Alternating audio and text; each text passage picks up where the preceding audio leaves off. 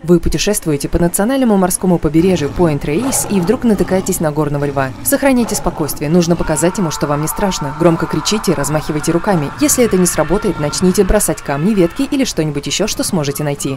Цельтесь в землю перед львом и ни в коем случае ничего не бросайте прямо в него. Это только разозлит его еще больше. Если лев приближается, защитите самые уязвимые места. Он будет метить в шею и пытаться схватить вас за руки, поэтому наклоните голову вперед и не делайте резких движений руками. Когда лев поймет, что вы так просто не сдадитесь, то, скорее всего, отступит. Вы в Йеллоустоновском национальном парке, и здесь вам предстоит встретиться лицом к лицу с гризли. Это питьевая вода из ручья. Безопасное расстояние 60 метров.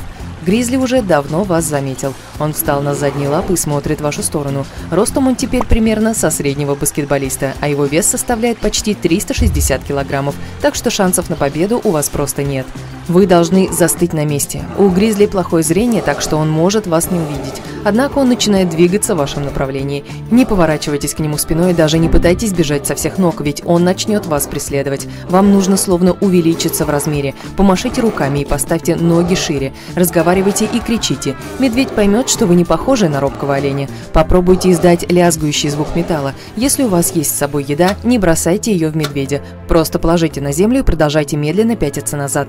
Если он бросится на вас, ваш единственный шанс упасть на землю и не шевелиться. Медведи не питаются падалью, поэтому он просто вас обнюхает и уйдет по своим делам. Теперь вы ныряете на побережье Флориды. Здесь нужно остерегаться большой белой акулы. Во время плавания никогда не надевайте блестящие и сверкающие украшения, это может ее привлечь.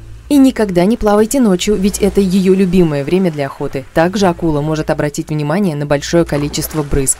Но если она плывет в вашу сторону, сделайте все возможное, чтобы ее победить. Постарайтесь сохранять спокойствие и плывите к берегу. Если акула выберет вас в качестве пищи, есть проверенные приемы, которые могут ее отпугнуть. Попробуйте ударить акулу в нос, глаза или жабры.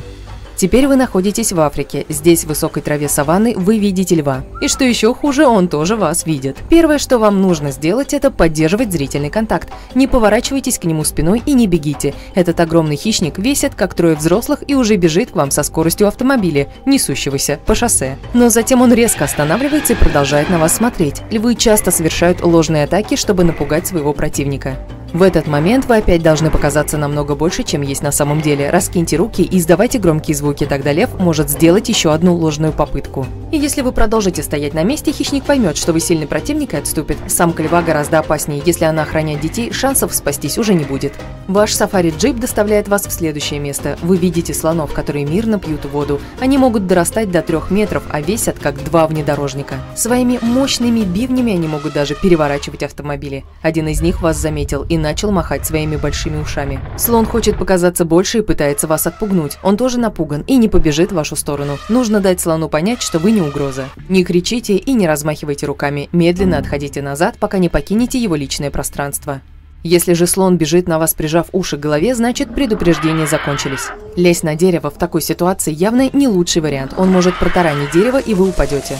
Он может даже сломать его своим сильным хоботом. В общем, здесь лучше бежать зигзагами. Слон тяжелый, и ему трудно быстро менять направление. Так что постепенно вы начнете отрываться, но все же помните, что слон может бегать со скоростью 40 км в час, так что вам вряд ли удастся от него сбежать. А теперь давайте перенесемся к реке Нил. Здесь обитает самая большая популяция крокодилов в мире. Если вы находитесь в кемпинге, отойдите от берега на расстоянии не менее 50 метров.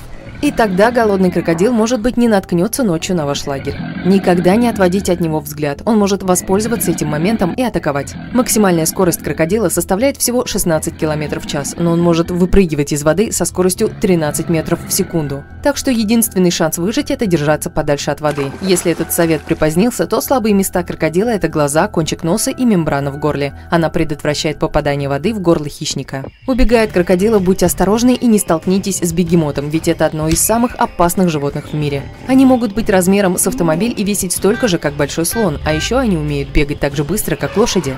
Так что в спринте они наверняка вас опередят. Главное, не напугайте бегемота. Если вы находитесь далеко, издайте громкий звук таких ситуациях они и сами могут начать от вас прятаться. Используйте этот момент, чтобы отступить. Но если вы видите зевающего бегемота, это явный признак того, что вы вторглись на его территорию. Они могут открывать рот на 180 градусов, а по силе укуса сравняться с крокодилом.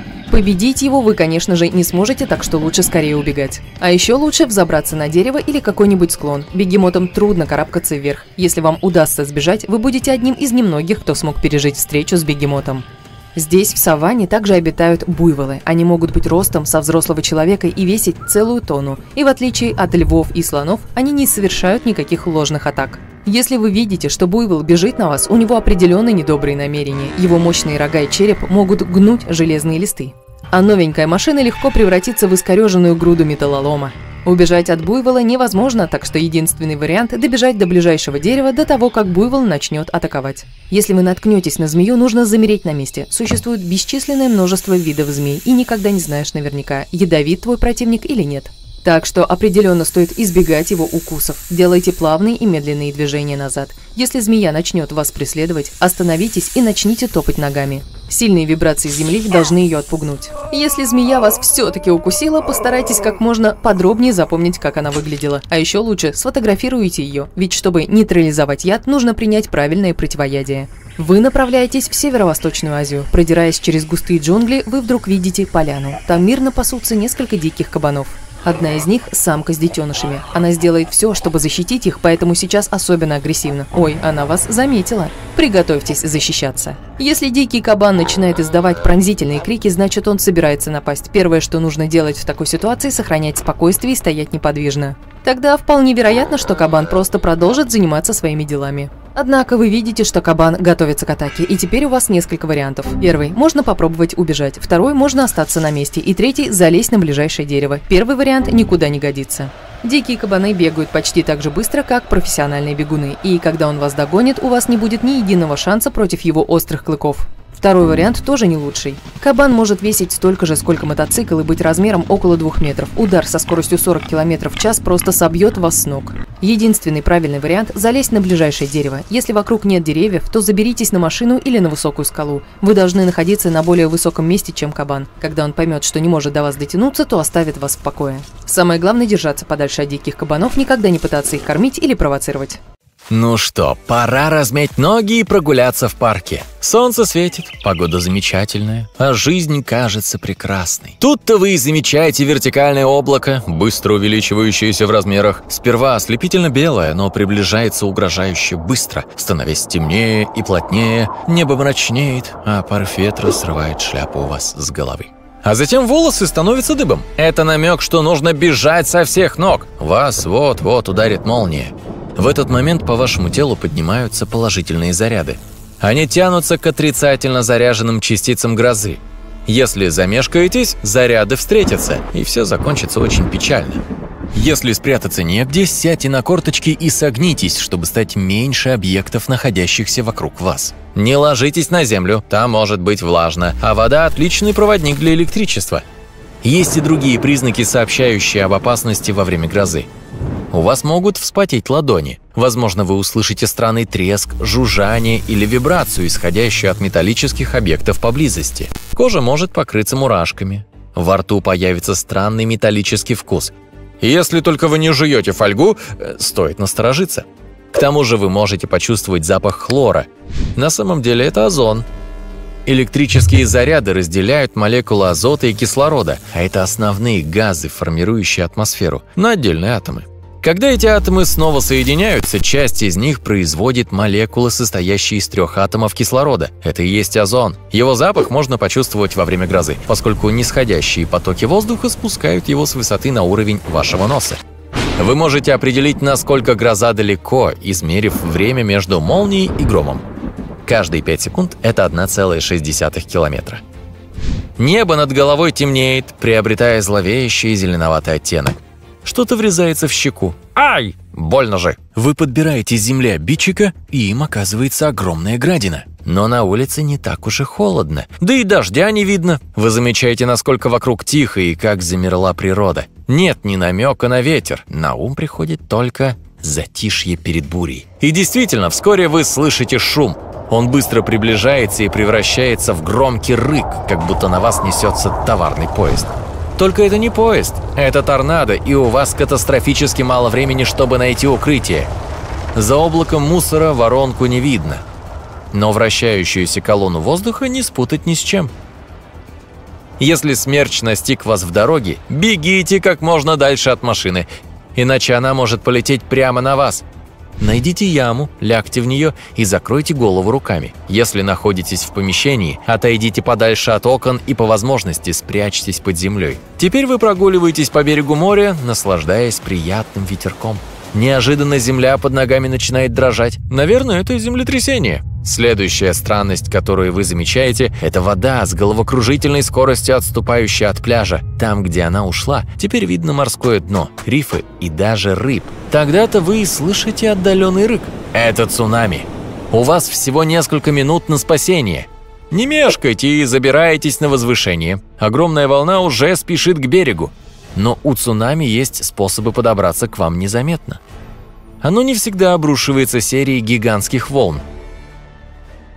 Цунами может выглядеть как быстрый прилив. Обычно это явление идет рука об руку с сильной подводной турбулентностью. Она затягивает людей под воду, расшвыривая вокруг тяжелые объекты. А еще вы можете заметить, что вода в море бурлит, закручивается и создает странные узоры. Это еще один верный признак приближающегося цунами. Ваша собака ведет себя странно. Она скребется во входную дверь, нарезает круги по квартире и пытается спрятаться в углу. Обычно спокойная и послушная, она начинает лаять и выть. Погода в последние дни тоже сходит с ума. Вчера было жарко, сегодня холодно. К тому же вы заметили, что ручей возле дома оживился, вода в нем пузырится, проносясь мимо.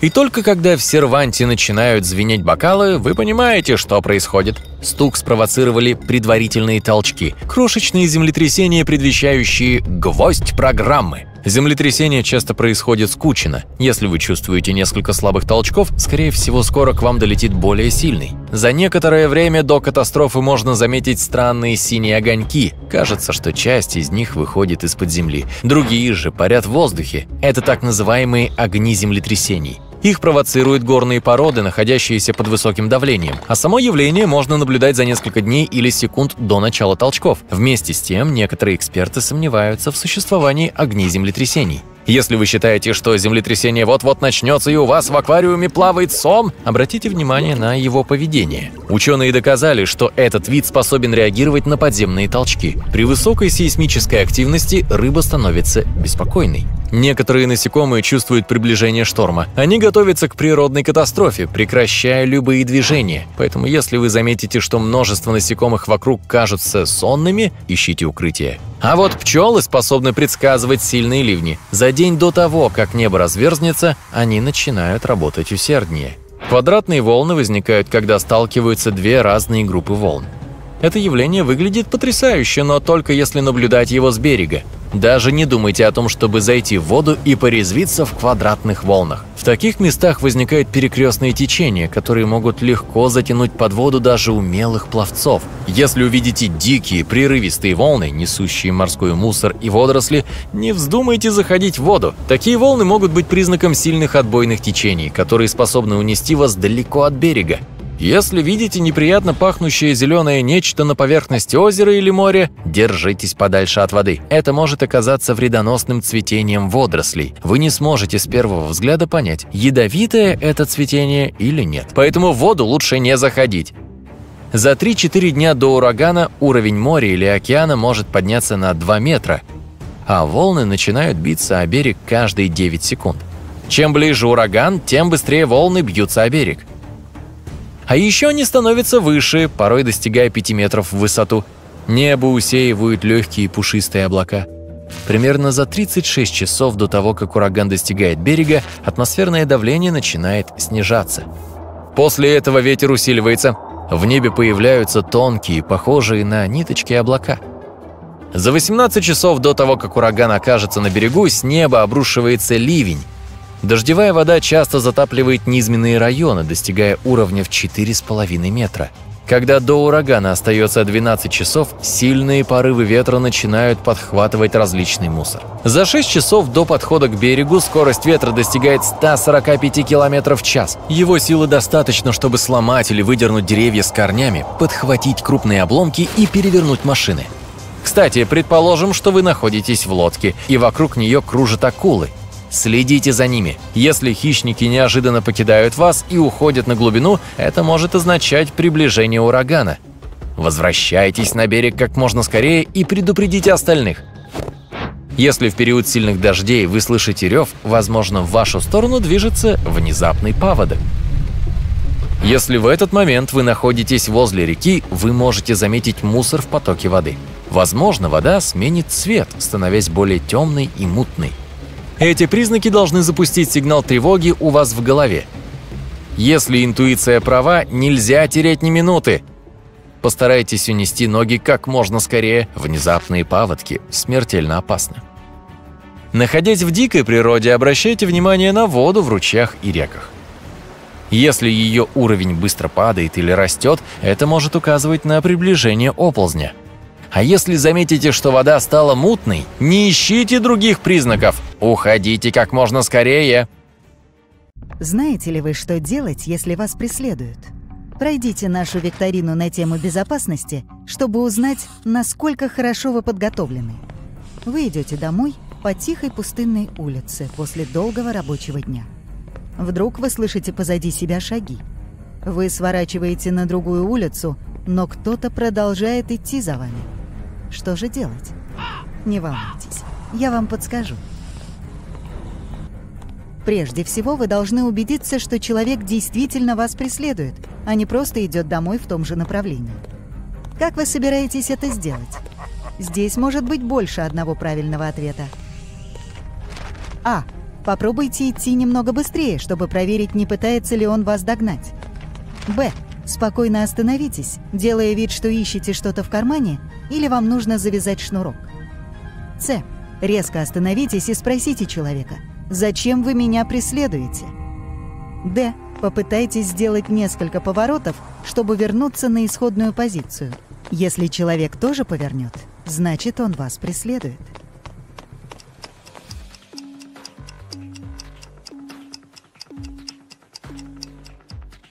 Варианты А, Б и Д верны, и, конечно, не стоит вступать в конфронтацию с тем, кто вас преследует. Итак, очевидно, что незнакомец преследует вас. Не паникуйте. Действуйте разумно, чтобы оторваться от хвоста. Вон та группа людей может вам помочь. Что вы должны сделать? А. Крикните «помогите» как можно громче и бегите к ним. Б. Подойдите к ним и попросите проводить вас до дома. С. Притворитесь, что вы их знаете. Скажите «привет», когда они будут проходить мимо вас. Объясните ситуацию и попросите их проводить вас до общественного места, где вы сможете поймать такси или позвонить друзьям, чтобы они вас забрали. Д. Все вышеперечисленные варианты подходят.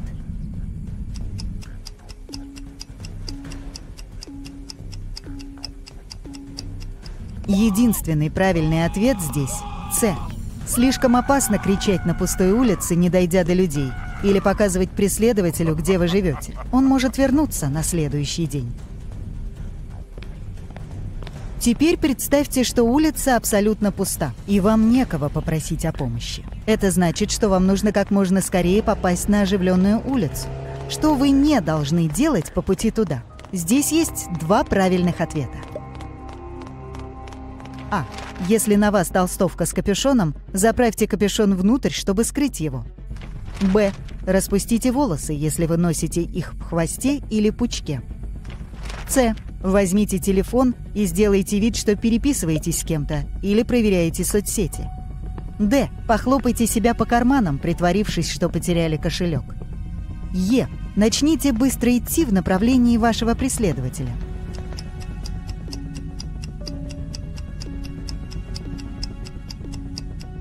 Два правильных ответа – С и Е. Вам не следует доставать телефон, потому что свет от экрана затрудняет адаптацию глаз в темноте. Если вы будете смотреть в телефон, вы также замедлите шаг. Разумеется, вы должны идти в противоположном направлении от преследователя. Что касается А и Б, вашему преследователю будет сложнее поймать вас за волосы или одежду, если ему не за что будет ухватиться.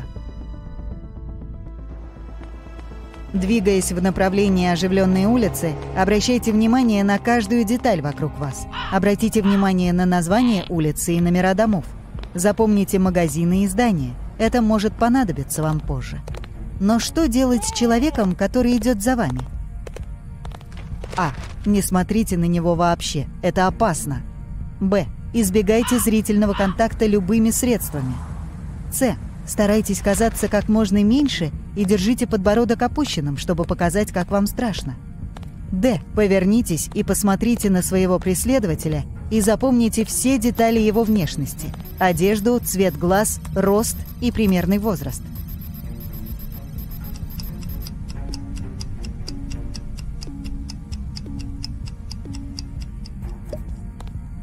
Правильный ответ здесь, конечно же, Д. Вам необходимо детально изучить преследователя, чтобы впоследствии дать его точное описание. Установив зрительный контакт, вы дадите ему понять «я вас вижу». Ваша уверенность заставит его почувствовать себя очень неловко, и, возможно, он даже пересмотрит свои планы. Преследование уверенного в себе человека требует большой смелости, а преследователи обычно не такие уж смелые. Не хочу вас пугать, но что, если этот жуткий человек подойдет к вам и попросит о чем-то? Что вы должны сделать в этом случае? Здесь будет более одного правильного ответа. А. Поддерживайте постоянный зрительный контакт. Б. Вступите с ним в разговор, если он спрашивает вас, как куда-то добраться. Объясните это во всех подробностях. С. Если вы несете книги или пакеты с покупками, будьте готовы бросить их, как только почувствуете, что что-то не так. Д. Не молчите. Поднимите шум, когда будете пытаться уйти, и кричите «пожар» вместо «помогите».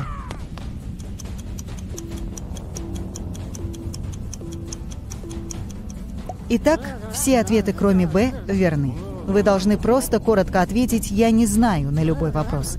А насчет пожара Люди реагируют на это слово чаще, чем просто на призыв о помощи. На всякий случай достаньте ключи и положите их на ладонь так, чтобы зубы ключей торчали из кулака. В крайнем случае у вас будет что-то острое для защиты, и вы сможете убежать. Когда вам удастся убежать от преследователя, достаньте телефон и позвоните в полицию. Теперь вам понадобятся все подробности о вашем местонахождении и о человеке, который вас преследовал. Что делать, если вы заметили, что кто-то преследует вас в общественном месте?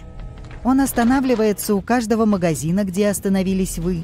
Делает вид, что проверяет телефон каждый раз, когда вы делаете то же самое. И следует за вами шаг за шагом. Что вы должны делать в таком случае? Здесь будет более одного правильного ответа.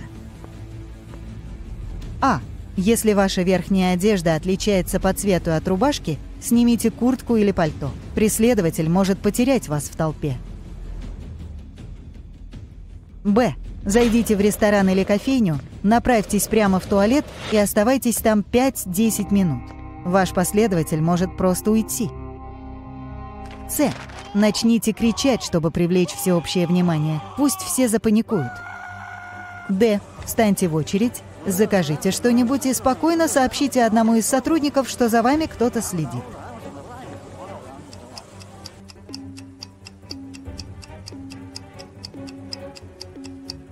Паника еще никому не помогала, поэтому С – единственный неправильный ответ. Вы должны просто сообщить сотрудникам о проблеме и попросить их присмотреть за вами. Сядьте за стол с заказом и попросите своих друзей или родственников, чтобы они приехали и отвезли вас домой или составили вам компанию. Давайте представим себе другой сценарий. Возможно, кто-то преследует вас на машине. Вы снижаете скорость, и он снижает скорость. Вы поворачиваете направо, и он едет за вами. Вы ускоряетесь, и он делает то же самое. Но все равно вы пока не уверены, что вас преследуют. Как вам это проверить? А. Резко остановитесь, проезжая мимо светофора. Б. Откройте окно и крикните «Помогите!». С. Немедленно езжайте домой. Если машина едет за вами, это явно не совпадение. Д. Сделайте три поворота направо и объедьте квартал.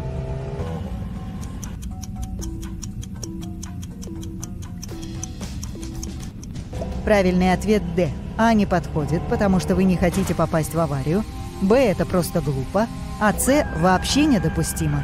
Вы никогда не должны сообщать преследователю, где вы живете. Даже если вы сегодня благополучно попадете домой, он может подкараулить вас на следующий день.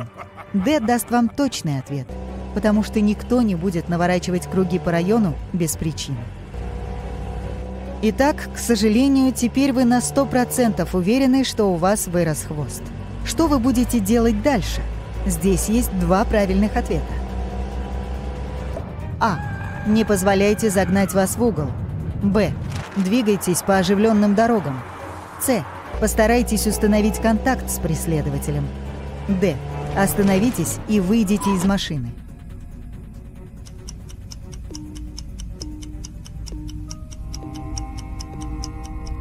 А и Б – это то, что вы должны делать. Всегда нужно иметь пространство для маневра, а на оживленной дороге легче скрыться. Не давайте преследователю понять, что вы о нем знаете. Он может отдалиться от вас, и вам будет сложнее разглядеть важные детали. Не выходите из машины, заприте все двери и закройте окна. Если вас все еще преследуют, позвоните в полицию с помощью громкой связи. Вы также можете заехать на автомойку и позвонить оттуда – или добраться до ближайшего отделения полиции. Если вы правильно ответили хотя бы на пять вопросов, все в порядке. Вы не будете паниковать, поскольку точно знаете, что делать, когда вас преследуют. Если вам было трудно ответить на вопросы, возможно, вам стоит посмотреть наши видео с советами по безопасности. Итак, вы пришли за покупками в продуктовый mm-hmm. магазин и вдруг натыкаетесь на раздутую емкость в отделе свежей продукции. Согласно информации на этикетке, со сроком mm-hmm. годности все в порядке. Но тогда же почему пакет вздулся? Ответ не всегда однозначен. Для некоторых видов свежих продуктов, таких как мясо, рыба или морепродукты, а иногда даже салаты и сыр, ученые придумали нечто под названием «упаковка с модифицированной атмосферой». Чтобы эти виды продуктов с относительно коротким сроком годности оставались свежими как можно дольше, в упаковку вводят специальные газы. Это происходит еще до того, как продукт попадает в продуктовый магазин. Французский профессор университета Монпелье изобрел этот метод после того, как заметил, что фрукты хранятся дольше в условиях с низким содержанием кислорода. Типы газов в таких упаковках могут быть разными – но главная идея в том, чтобы заменить или уменьшить содержание кислорода. Обычно его заменяют либо азотом, либо углекислым газом. Имейте в виду, что если у раздутой упаковки все хорошо со сроком годности, это не значит, что продукт всегда mm. можно есть. Может быть, в упаковке и есть газы, но они могут быть и признаком того, что продукт испорчен. Сначала нужно проверять срок годности продукта – Затем изучите упаковку на наличие необычных запахов или повреждений. Если что-то вызывает подозрение, то лучше не рисковать. Со всеми вопросами или сомнениями можно обратиться к сотрудникам магазина.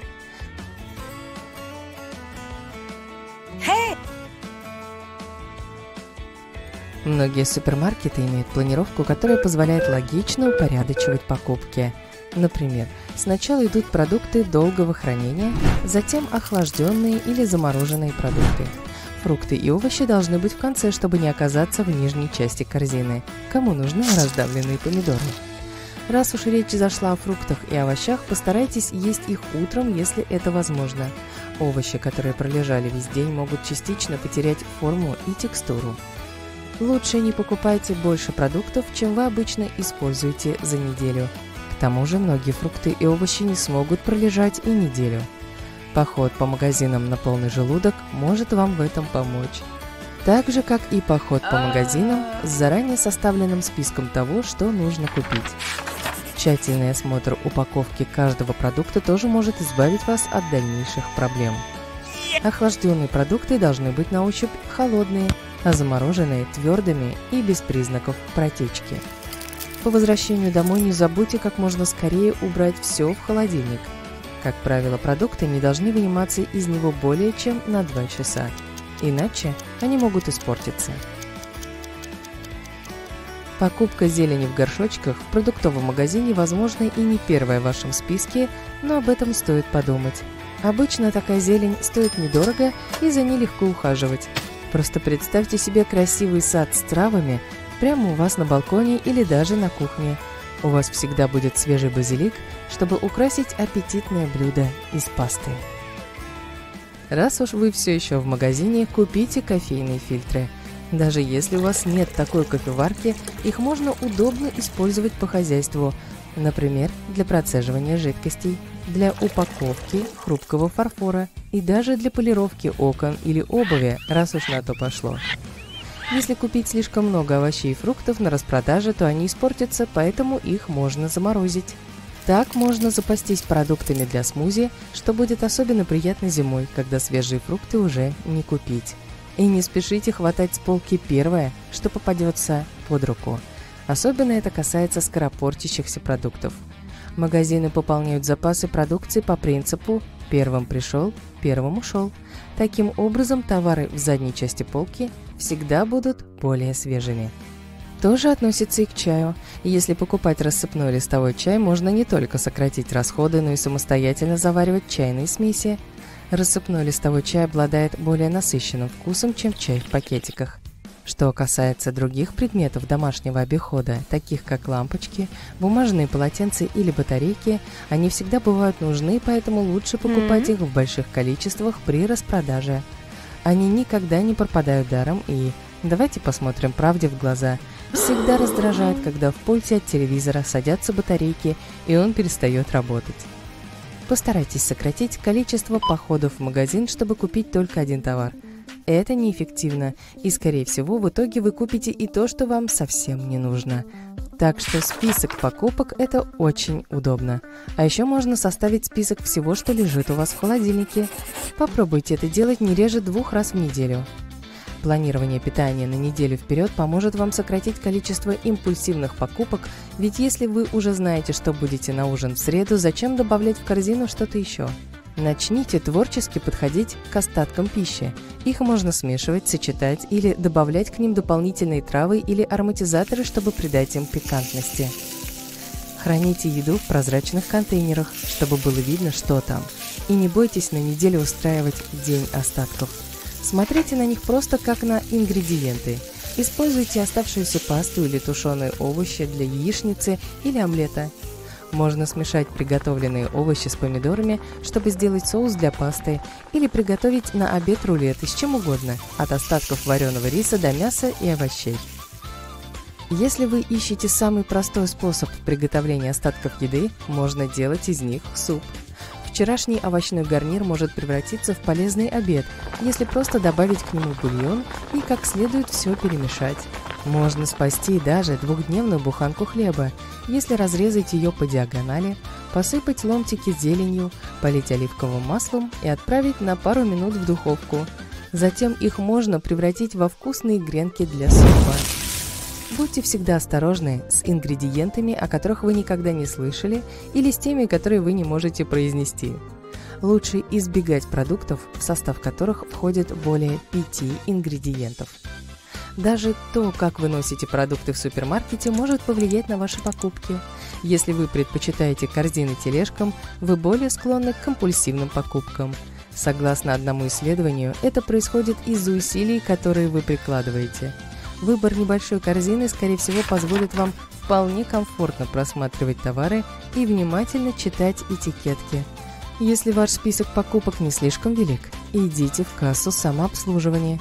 Исследования показали, что импульсивные покупки снижаются на 32%, если перед оплатой сначала просматривать то, что вы набрали. Обычная кассовая линия специально сделана таким образом, чтобы вы не убирали товары, которые, возможно, передумали покупать. Вам просто будет некуда положить ненужные продукты, кроме продуктовой корзины. И если за вами в очереди уже кто-то стоит, удачи вам, чтобы протиснуться. Выкладка продуктов тоже представляет угрозу вашему бюджету и привычкам. Поскольку люди чаще покупают то, что они видят в первую очередь, самые дорогие товары размещают на уровне глаз. А бюджетные варианты занимают верхние и нижние полки. Не торопитесь и все внимательно изучите. Вы удивитесь, когда увидите, что многие товары на верхних или нижних полках часто не только более экономичные, но и менее насыщены добавками или искусственными ароматизаторами. Эй, будьте осторожны, там настоящие джунгли.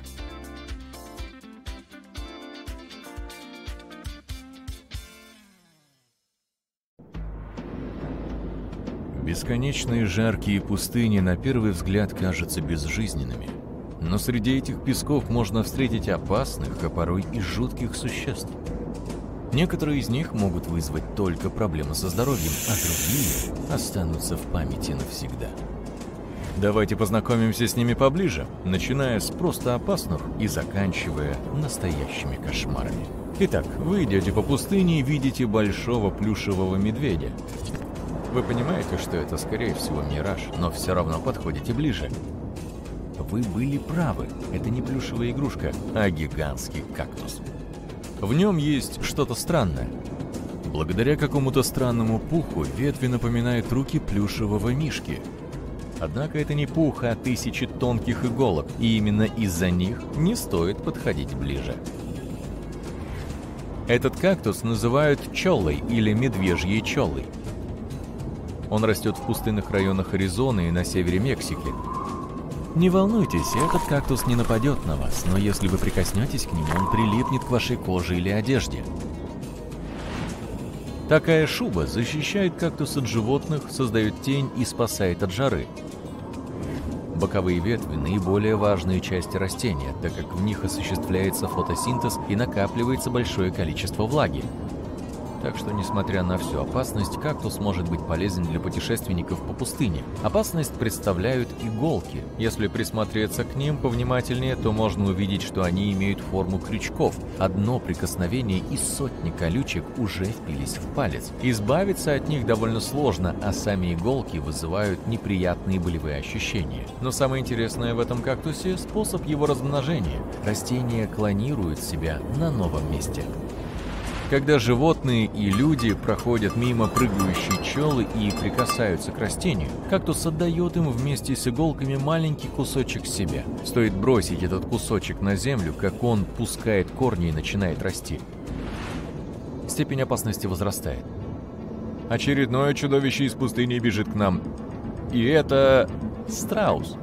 Многие считают этих животных трусами, прячущими голову в песок. Однако, если вы встретите такое животное, то, скорее всего, измените свое мнение.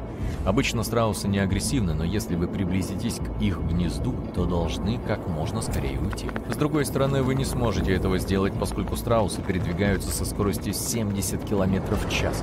Чтобы от них оторваться, нужен автомобиль.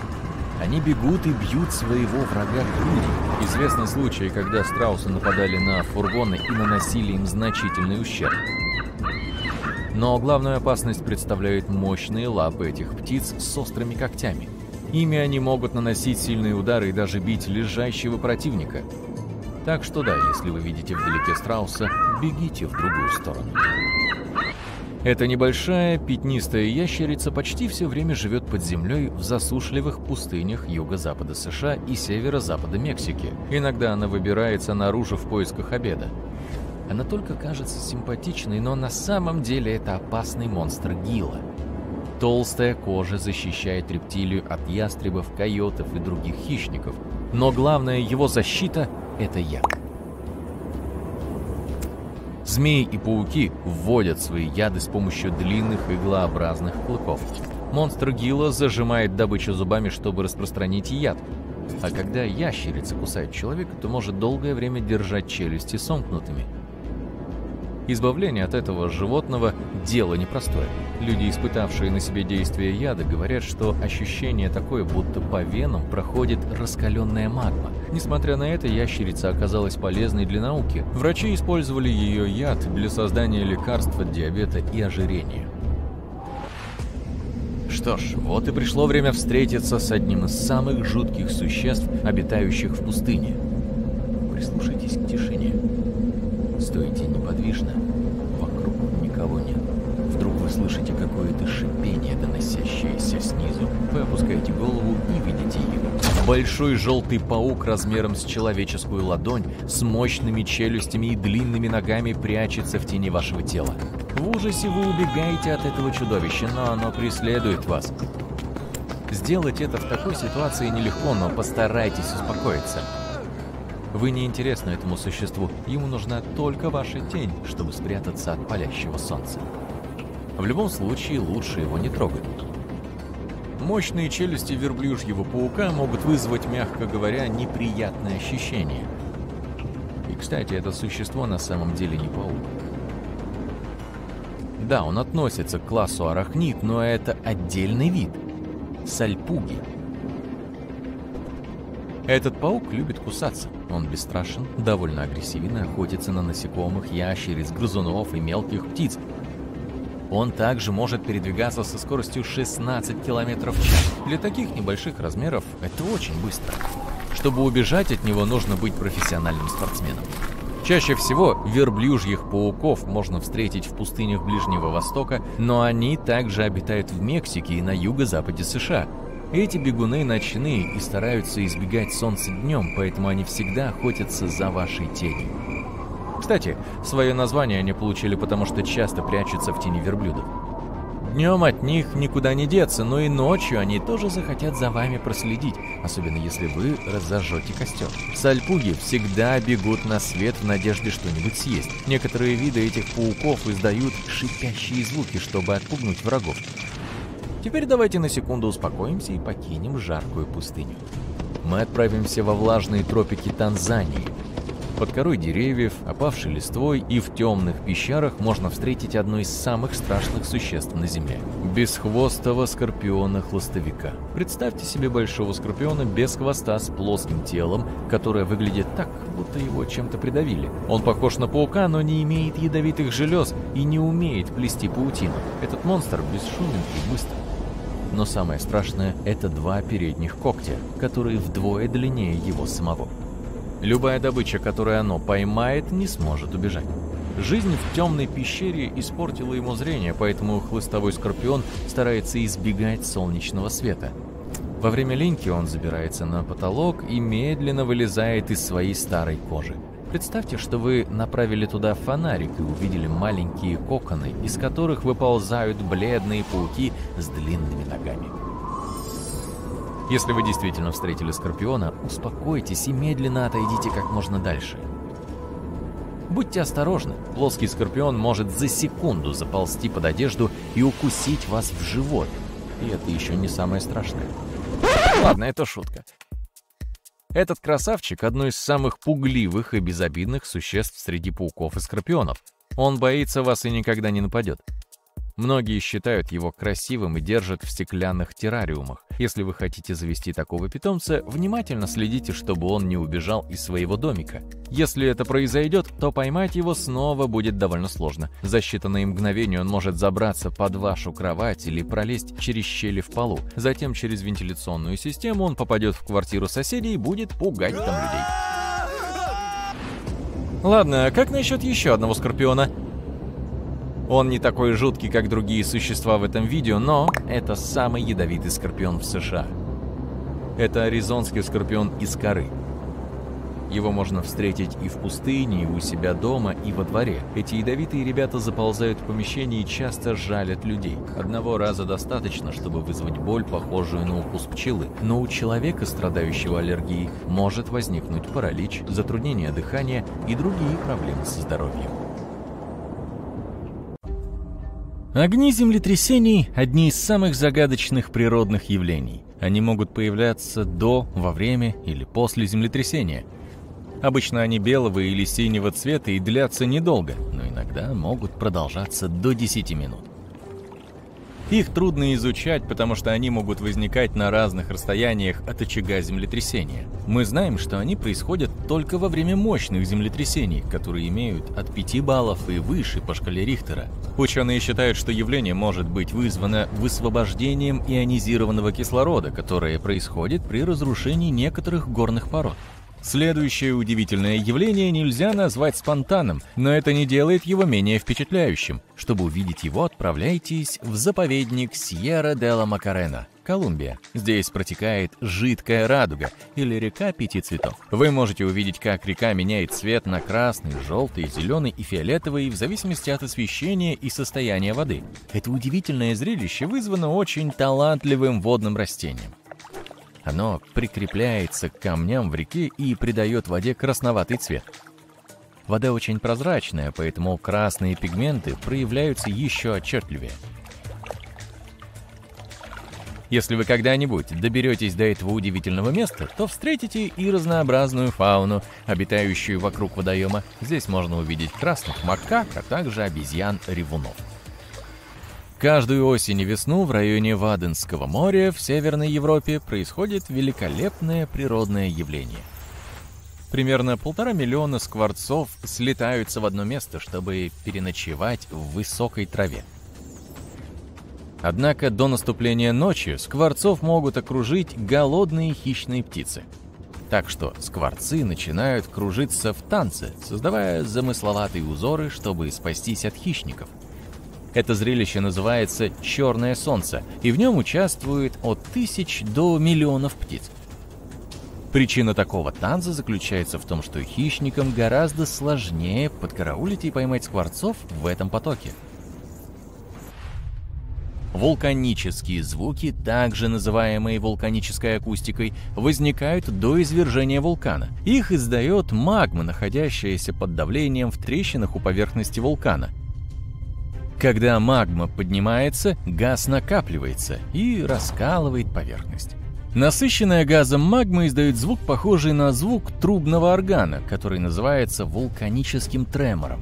Звук меняется со временем, напоминая естественный концерт – Вулканический тремор – это признак приближающегося извержения, поэтому лучше всего скорее найти укрытие, если вы слышите что-то необычное вблизи вулкана.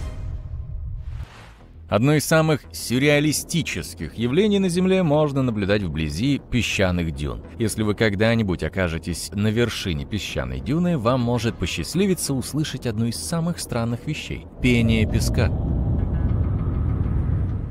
Правда, ученые еще не до конца поняли, почему оно появляется. Согласно одной из теорий, песок издает этот звук, скользя по дюне из-за трения между песчинками. Но как определить, что вы слышите именно поющий песок? Это похоже на звук пролетающего вдалеке самолета – Одно из немногих мест на Земле, где песок издает настолько громкий шум, что его могут услышать туристы, находится в пустыне Намиб в Африке или на пляже Лающие пески на Гавайях. Чтобы увидеть редкий золотой водопад, вам придется ехать в Йосемитский национальный парк, точнее, к водопаду Хвощ. Вам нужно будет заранее запланировать свою поездку, чтобы попасть туда либо зимой, либо ранней весной. Это единственный период в году, когда можно увидеть это прекрасное зрелище. Конечно, это не настоящее золото, падающее с горы, а оптическая иллюзия, когда в сумерках солнечный свет попадает на водопад таким уникальным образом, что он становится похож на реку лавы или золота. В Калифорнийском национальном парке под названием «Долина смерти» есть камни, которые, кажется, двигаются сами по себе и оставляют за собой следы. Ученые считали, что за эти перемещения может отвечать земляная кукушка-бегун, но она слишком мала, чтобы таскать за собой камни. Также исследователи думали, что это может быть ветер, но камни слишком тяжелые, чтобы их могло унести ветром. Ученые изучали камни в течение многих лет, но до 2014 года они не видели, как камни движутся, просто наблюдали наблюдали их в разных положениях в разное время. С помощью таймлапса они обнаружили, что движение было вызвано стечением обстоятельств, выпавшими осадками, резким изменением температуры и ветра. Когда идет дождь, вода иногда замерзает, и камни застревают во льду. При повышении температуры лед начинает таять и медленно двигаться, увлекая за собой камни. Ледяной покров, который перемещает камни, очень тонкий и быстро испаряется, поэтому ученым было трудно понять это явление. Слышали когда-нибудь о грязной грозе? Пристегните ремни, потому что сейчас мы отправимся в опасную поездку прямиком к вулканическим молниям. Нет, это не новая техника танца, хотя он был бы весьма впечатляющим. Это просто забавное имя для молнии и грома во время извержения вулкана. Когда происходит обычная гроза, положительные и отрицательные частицы сталкиваются и создают большую искру молний. А грохот, который вы слышите, это просто гром. Но когда вулкан начинает грохотать, некоторые частицы пепла электризуются и начинают сталкиваться друг с другом. Это вызывает электрические разряды, создавая впечатление, что молния исходит прямо из вулкана. А когда вокруг летят пепел, дым и газ, это выглядит как что-то из фантастического фильма. Именно поэтому такую грозу иногда называют грязной. Ух ты! Видели гигантский луч света, устремленный в небо? Это световые столбы. Не волнуйтесь, это не фокус. Просто ледяные кристаллы решили нас разыграть. Видите ли, когда на улице холодно, кристаллы льда у Земли отражают свет, создавая столбы, которые выглядят так, будто они пришельцы из космоса. Но на самом деле это просто группка маленьких кристаллов, демонстрирующих свои светоотражающие способности. И если вы думаете, что естественные световые колонны – впечатляющее зрелище, посмотрите на искусственные. Они могут быть еще выше из-за света от уличных фонарей. Кристаллы льда могут отражать свет, даже если они немного наклонены. Только представьте, весь этот свет исходит от уличных фонарей всего в нескольких метрах от вас. Так что в следующий раз, когда вы увидите световой столб, не спешите убегать, просто наслаждайтесь зрелищем. Если вы встретите в небе эти причудливые, похожие на пузыри формы, считайте, что вам повезло. Эти маленькие жемчужины называются облаками Маматус, но это необычные облака. Большинство облаков образуются, когда воздух поднимается вверх, что делает их похожими на большие ватные шарики. Но облака Маматус образуются, когда воздух опускается вниз, в результате чего они выглядят, как будто их перевернули. Воздух над и под такими облаками создает небольшую турбулентность, и прежде чем вы это поймете, из облака сформируются идеальные круглые шары. Только не смотрите на них слишком долго, они часто предупреждают о приближении грозы. Что это тут? Похоже на солнце надели шляпу прямо на вершине рудных гор в Германии. Это явление под названием «солнечное гало». Заснеженные деревья, похоже, тоже присоединились к веселью – это все благодаря кристаллам льда в высоких облаках. Они любят отражать свет, создавая впечатление, что солнце исполняет причудливый танец. И да, это может означать, что плохая погода не за горами, но не позволяйте ей испортить вам удовольствие. Вы все еще можете сделать несколько отличных снимков. Ну что ж, настала пора весенней уборки. Вы берете тряпку и веник и идете на улицу, чтобы избавиться от паутины на окнах. На этот раз вы настроены решительно. Снимая паутину за паутиной, вы неожиданно замечаете грязь странной формы, прилипшую под карнизом и на крыльце. Что это? И тут вас озаряет. Должно быть, это гнезда песочных ос. Вы наверняка думаете, что их тут целый рой, ведь вы нашли немало гнезд. К счастью, песочные осы – одиночки. Фух. Все эти грязевые хижинки заполнены парализованными пауками. Иногда внутри может находиться до 500 пауков, которые ждут, когда вылупятся юные осы. Если в гнезде есть отверстие, это может означать, что гнездо старое или пустое, поскольку песочные осы оставляют дырки, покидая его. Если собираетесь убрать гнездо, лучше дождаться наступления ночи, когда его обитатели менее активны. Несмотря на свою миролюбивость, они непременно ужалят вас при малейшей угрозе. Медведка выглядит так, будто кто-то создал половину насекомого, а потом забыл, какая часть должна идти дальше. Инопланетное создание. Когти крота, тело сверчка и голова креветки. Настоящий утконос мира насекомых. Она не ядовита и укусит вас только если вы зажмете ее в руке. А если вы ее сильно достанете, она пустит в ход козырь – крылья. Медведки способны плеваться коричневой жидкостью с ужасным запахом, прямо как скунсы. Так что просто дайте ему лететь, и убирать ничего не придется. Каменные бассейны кишат всевозможными растениями и животными. В них можно найти морских звезд, водоросли, крабов-отшельников, крошечных рыбок и всевозможных осьминогов. Если наткнетесь на синекольчатого осьминога, лучше его не трогайте. Он мигает синим неоном не без причины. Укус этого миниатюрного создания в тысячу раз ядовитее цианида, и антидота к нему не существует. Не тыкайте его палочкой и не пытайтесь поднять. Вы же не хотите отправиться в больницу или в морг. Змеи на Земле, конечно, пугают, но морские змеи – это совершенно другой уровень. В Индийском и Тихом океанах обитает около 50 разных видов морских змей, и их красота не уступает исходящей от них опасности. К счастью, кажется, мы их не сильно волнуем.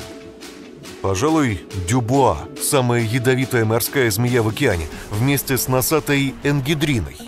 Укус кобры на их фоне кажется пустяком. Яд этих змей невероятно опасен.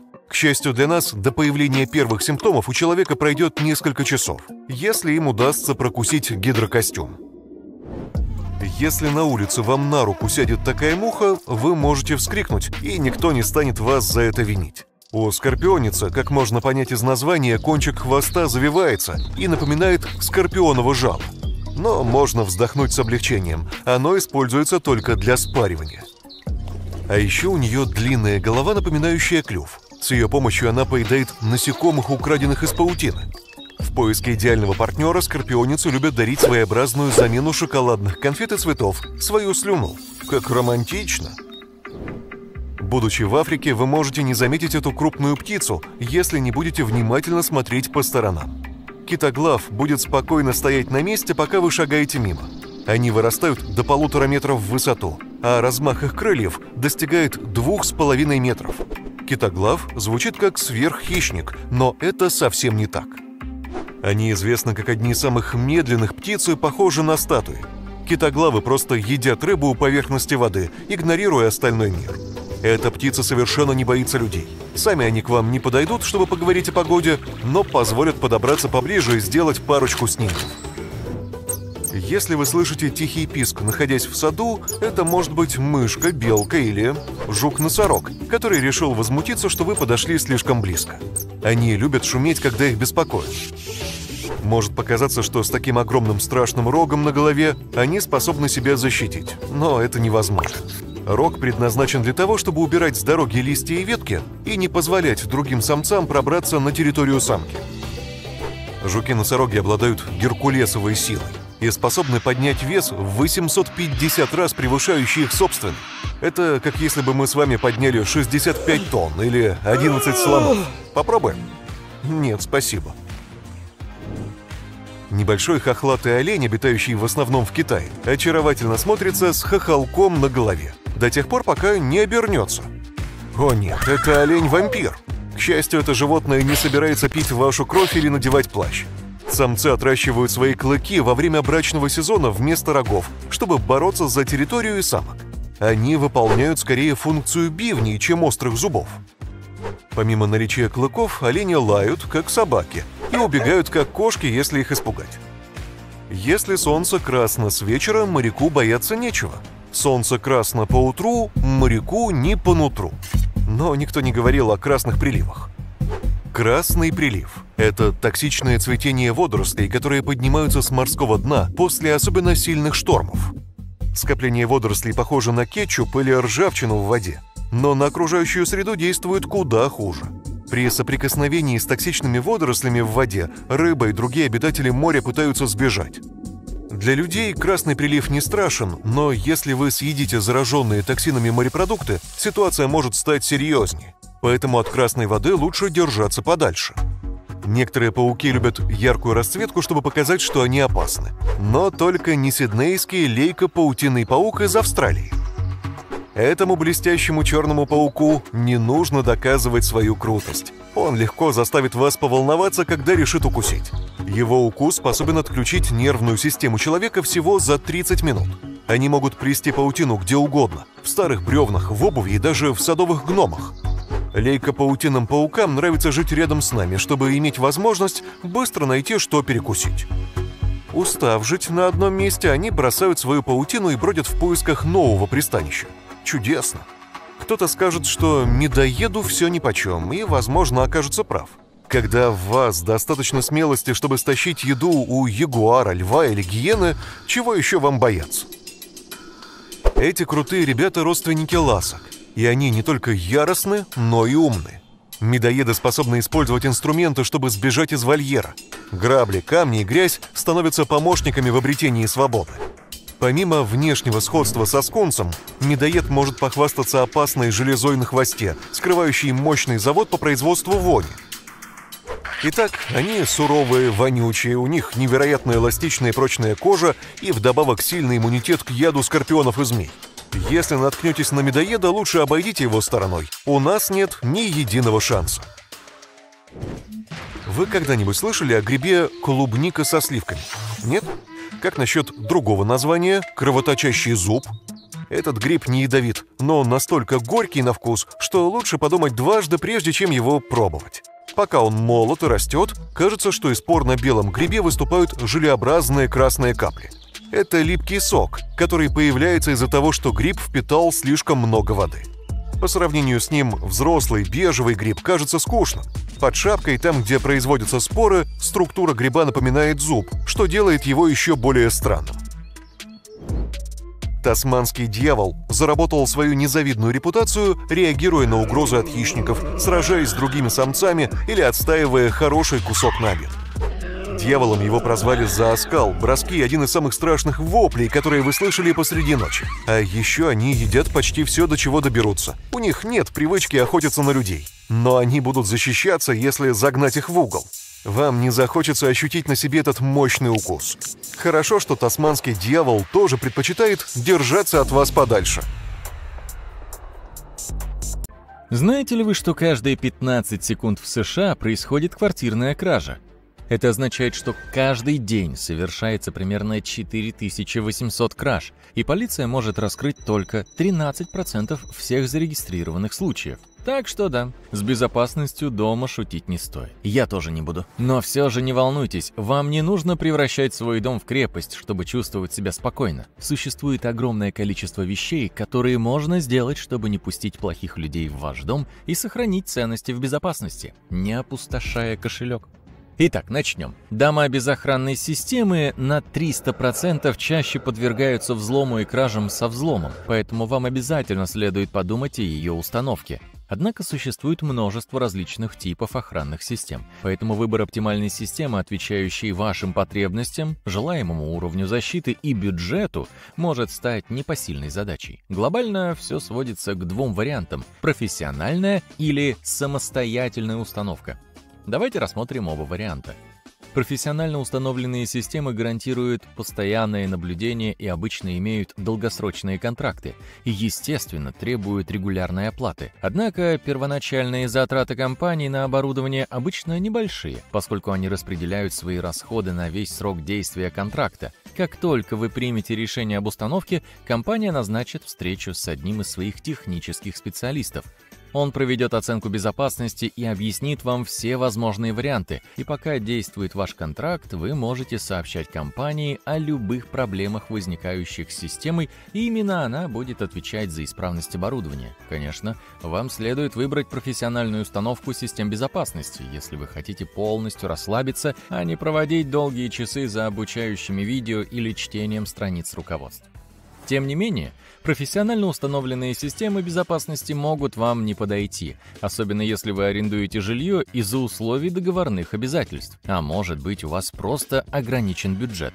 Вот тут-то и пригодится второй вариант – если средняя цена мониторинга за домом от агентств составляет около 50 долларов в месяц, то система мониторинга для самостоятельно установленной камеры обойдется вам около 28 долларов в месяц. Кроме того, при установке камер слежения своими руками вы платите только за само оборудование. Но будьте готовы, что на его покупку вы потратите больше, нежели обратившись в агентство. Кроме того, системы домашней безопасности «Сделай сам» сопряжены с риском неправильного размещения оборудования и наличия уязвимостей, которые обнаружил бы профессионал. В конце концов, самое главное, что вам нужно сделать перед выбором системы безопасности, это оценить потребности вашего района и вашего дома. Вы знали, что 34% взломщиков используют только входную дверь? Если ваша дверь недостаточно прочная, вы, по сути, приглашаете грабителей войти. Поэтому установки систем безопасности недостаточно – Необходимо проверить все наружные двери, дверные коробки и петли.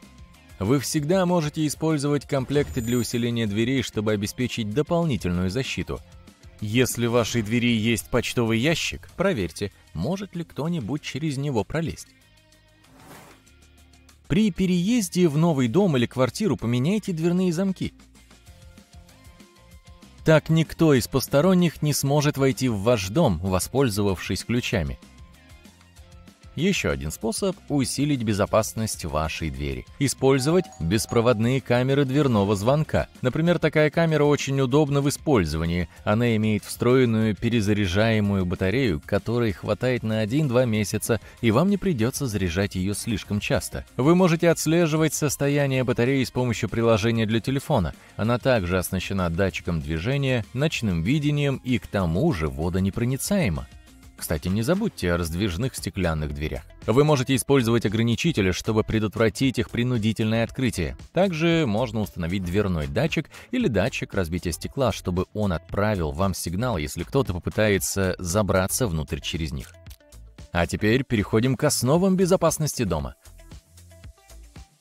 Доля грабителей, проникающих в дом через окно, достигает 23%, потому что люди просто забывают запирать окна. Впрочем, грабители всегда могут разбить стекло.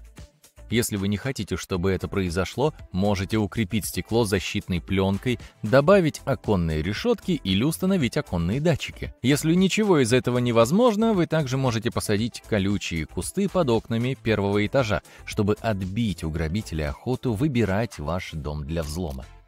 В чем разница между актером и грабителем? Взломщики не любят быть в центре внимания. Вот почему наружное освещение — это ваше преимущество. Фонари должны быть размещены вокруг переднего и заднего дворов, вдоль дорожек и возле гаража. Чтобы сделать наружное освещение более эффективным, можно использовать светильники, активируемые движением. Возьмем, к примеру, этот. Он работает на солнечных батареях, а значит, поможет вам сэкономить электроэнергию. Но это не значит, что вы останетесь без света, как только облака закроют небо. Он способен работать 4-5 ночей даже в дождливые дни. Не позволяйте грабителям играть с вами в прятки. Хотя деревья и кустарники могут придать вашему дому более красивый вид, они также могут стать удобным укрытием для преступников. Вот почему вам следует обрезать по крайней мере те деревья, что находятся рядом с вашим домом и могут быть использованы для укрытия. Вместо них выбирайте невысокие цветы и кустарники. Так у грабителей не будет возможности спрятаться в них и подождать, пока вы выйдете из дома. То же самое касается ворот с замком, сараев и других построек на улице. Убедитесь убедитесь, что эти места заперты. Грабители могут использовать табуретки и лестницы, чтобы забраться в дом через окна, поэтому не искушайте их, оставляя табурет на улице.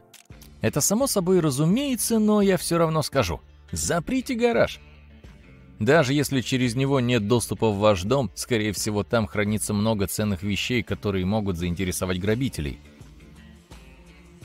Также разумно хранить устройство для открывания двери гаража в доме, а не оставлять его в машине. Так грабители не смогут легко им завладеть. Если вы используете код безопасности для открытия гаража, то храните его в тайне и не вводите его в присутствии других людей, включая соседей. Некоторые соседи, ну вы знаете. Установка подъездной сигнализации также поможет обезопасить гараж. В наши дни большой проблемой являются не только грабители, но и пираты крыльца, они же воры посылок. В прошлом году почти каждый седьмой американец стал их жертвой. Именно здесь оказываются полезными камеры наблюдения. Во-первых, они работают как сдерживающий фактор, а во-вторых, если кто-то действительно украдет ваш пакет, вы сможете опознать его благодаря записям с камер наблюдения. Если вы не можете купить хорошую камеру безопасности, то приобретите подделку. Они намного дешевле и помогут сделать ваш дом более защищенным, чем он есть на самом деле. Например, такой вариант. В камеру встроен мигающий свет, что делает ее максимально реалистичной. И последнее, но не менее важное. Вам не помешает иметь сейф. И не волнуйтесь, это не должен быть один из тех гигантских титановых сейфов, которые показывают в фильмах о грабежах. Несмотря на все меры предосторожности, грабители все равно могут проникнуть в ваш дом, поэтому вам нужно позаботиться о защите ценностей. Вы можете спрятать все важные вещи от дорогих украшений до жизненно важных документов, чтобы быть в полной безопасности. Если вы собираетесь купить себе такой, убедитесь, что он огнестойкий, водонепроницаемый и достаточно тяжелый, чтобы вор не смог поднять его и уйти с ним. Лучше перестраховаться, чем потом жалеть. Иногда по ночам, когда небо перед сильной грозой ясное, можно увидеть эльфов, гномов, троллей или синие струи. Что? Последняя фраза не вписывается в этот ряд. Но на самом деле речь идет не о каких-то сказках. Это всего лишь различные типы вспышек молний, которые видны в основном очень высоко над грозовыми тучами. Начнем с красных спрайтов. Это вспышки света, появляющиеся над грозовыми разрядами и собирающиеся в группы. Они редкие, так как вызываются только особым типом молний, положительным ударом облака в землю. То есть во время удара молнии положительный заряд переносится с грозового облака на землю. Такие молнии составляют лишь 10% от общего числа ударов молнии. Более века многие считали, что эти вспышки всего лишь городская легенда. Люди действительно видели их время от времени, но вспышки были настолько кратковременными, что даже если бы вам посчастливилось их застать, вы не успели бы позвать кого-нибудь, чтобы вместе наблюдать за этим явлением. Даже когда уважаемые ученые или летчики рассказывали о молниях, научное сообщество в основном игнорировало их. В 1989 году произошло нечто странное – Исследователям из университета Миннесоты действительно удалось заснять спрайтов на пленку. С этого все и началось. Люди по всему миру стали делиться видео с ними и фотографиями. Красные спрайты — это 100-метровые шары из ионизированного воздуха. Они падают вниз с высоты около 80 километров со скоростью 300 тысяч километров в час. Исследователи изучают не только молнии, падающие вниз из бушующих туч, но и разноцветные вспышки, устремляющиеся в космос. Итак, электричество тянется вверх к электрически заряженной ионосфере, но в то же время оно обрушивается вниз к Земле. Красные спрайты бывают разных форм, например, медузами, площадь которых иногда достигает 77 квадратных километров – вы можете увидеть морковных спрайтов или конусовидных. Они похожи, только у морковки есть длинные усики. Нижняя часть усиков часто бывают синими, а верхние — красными.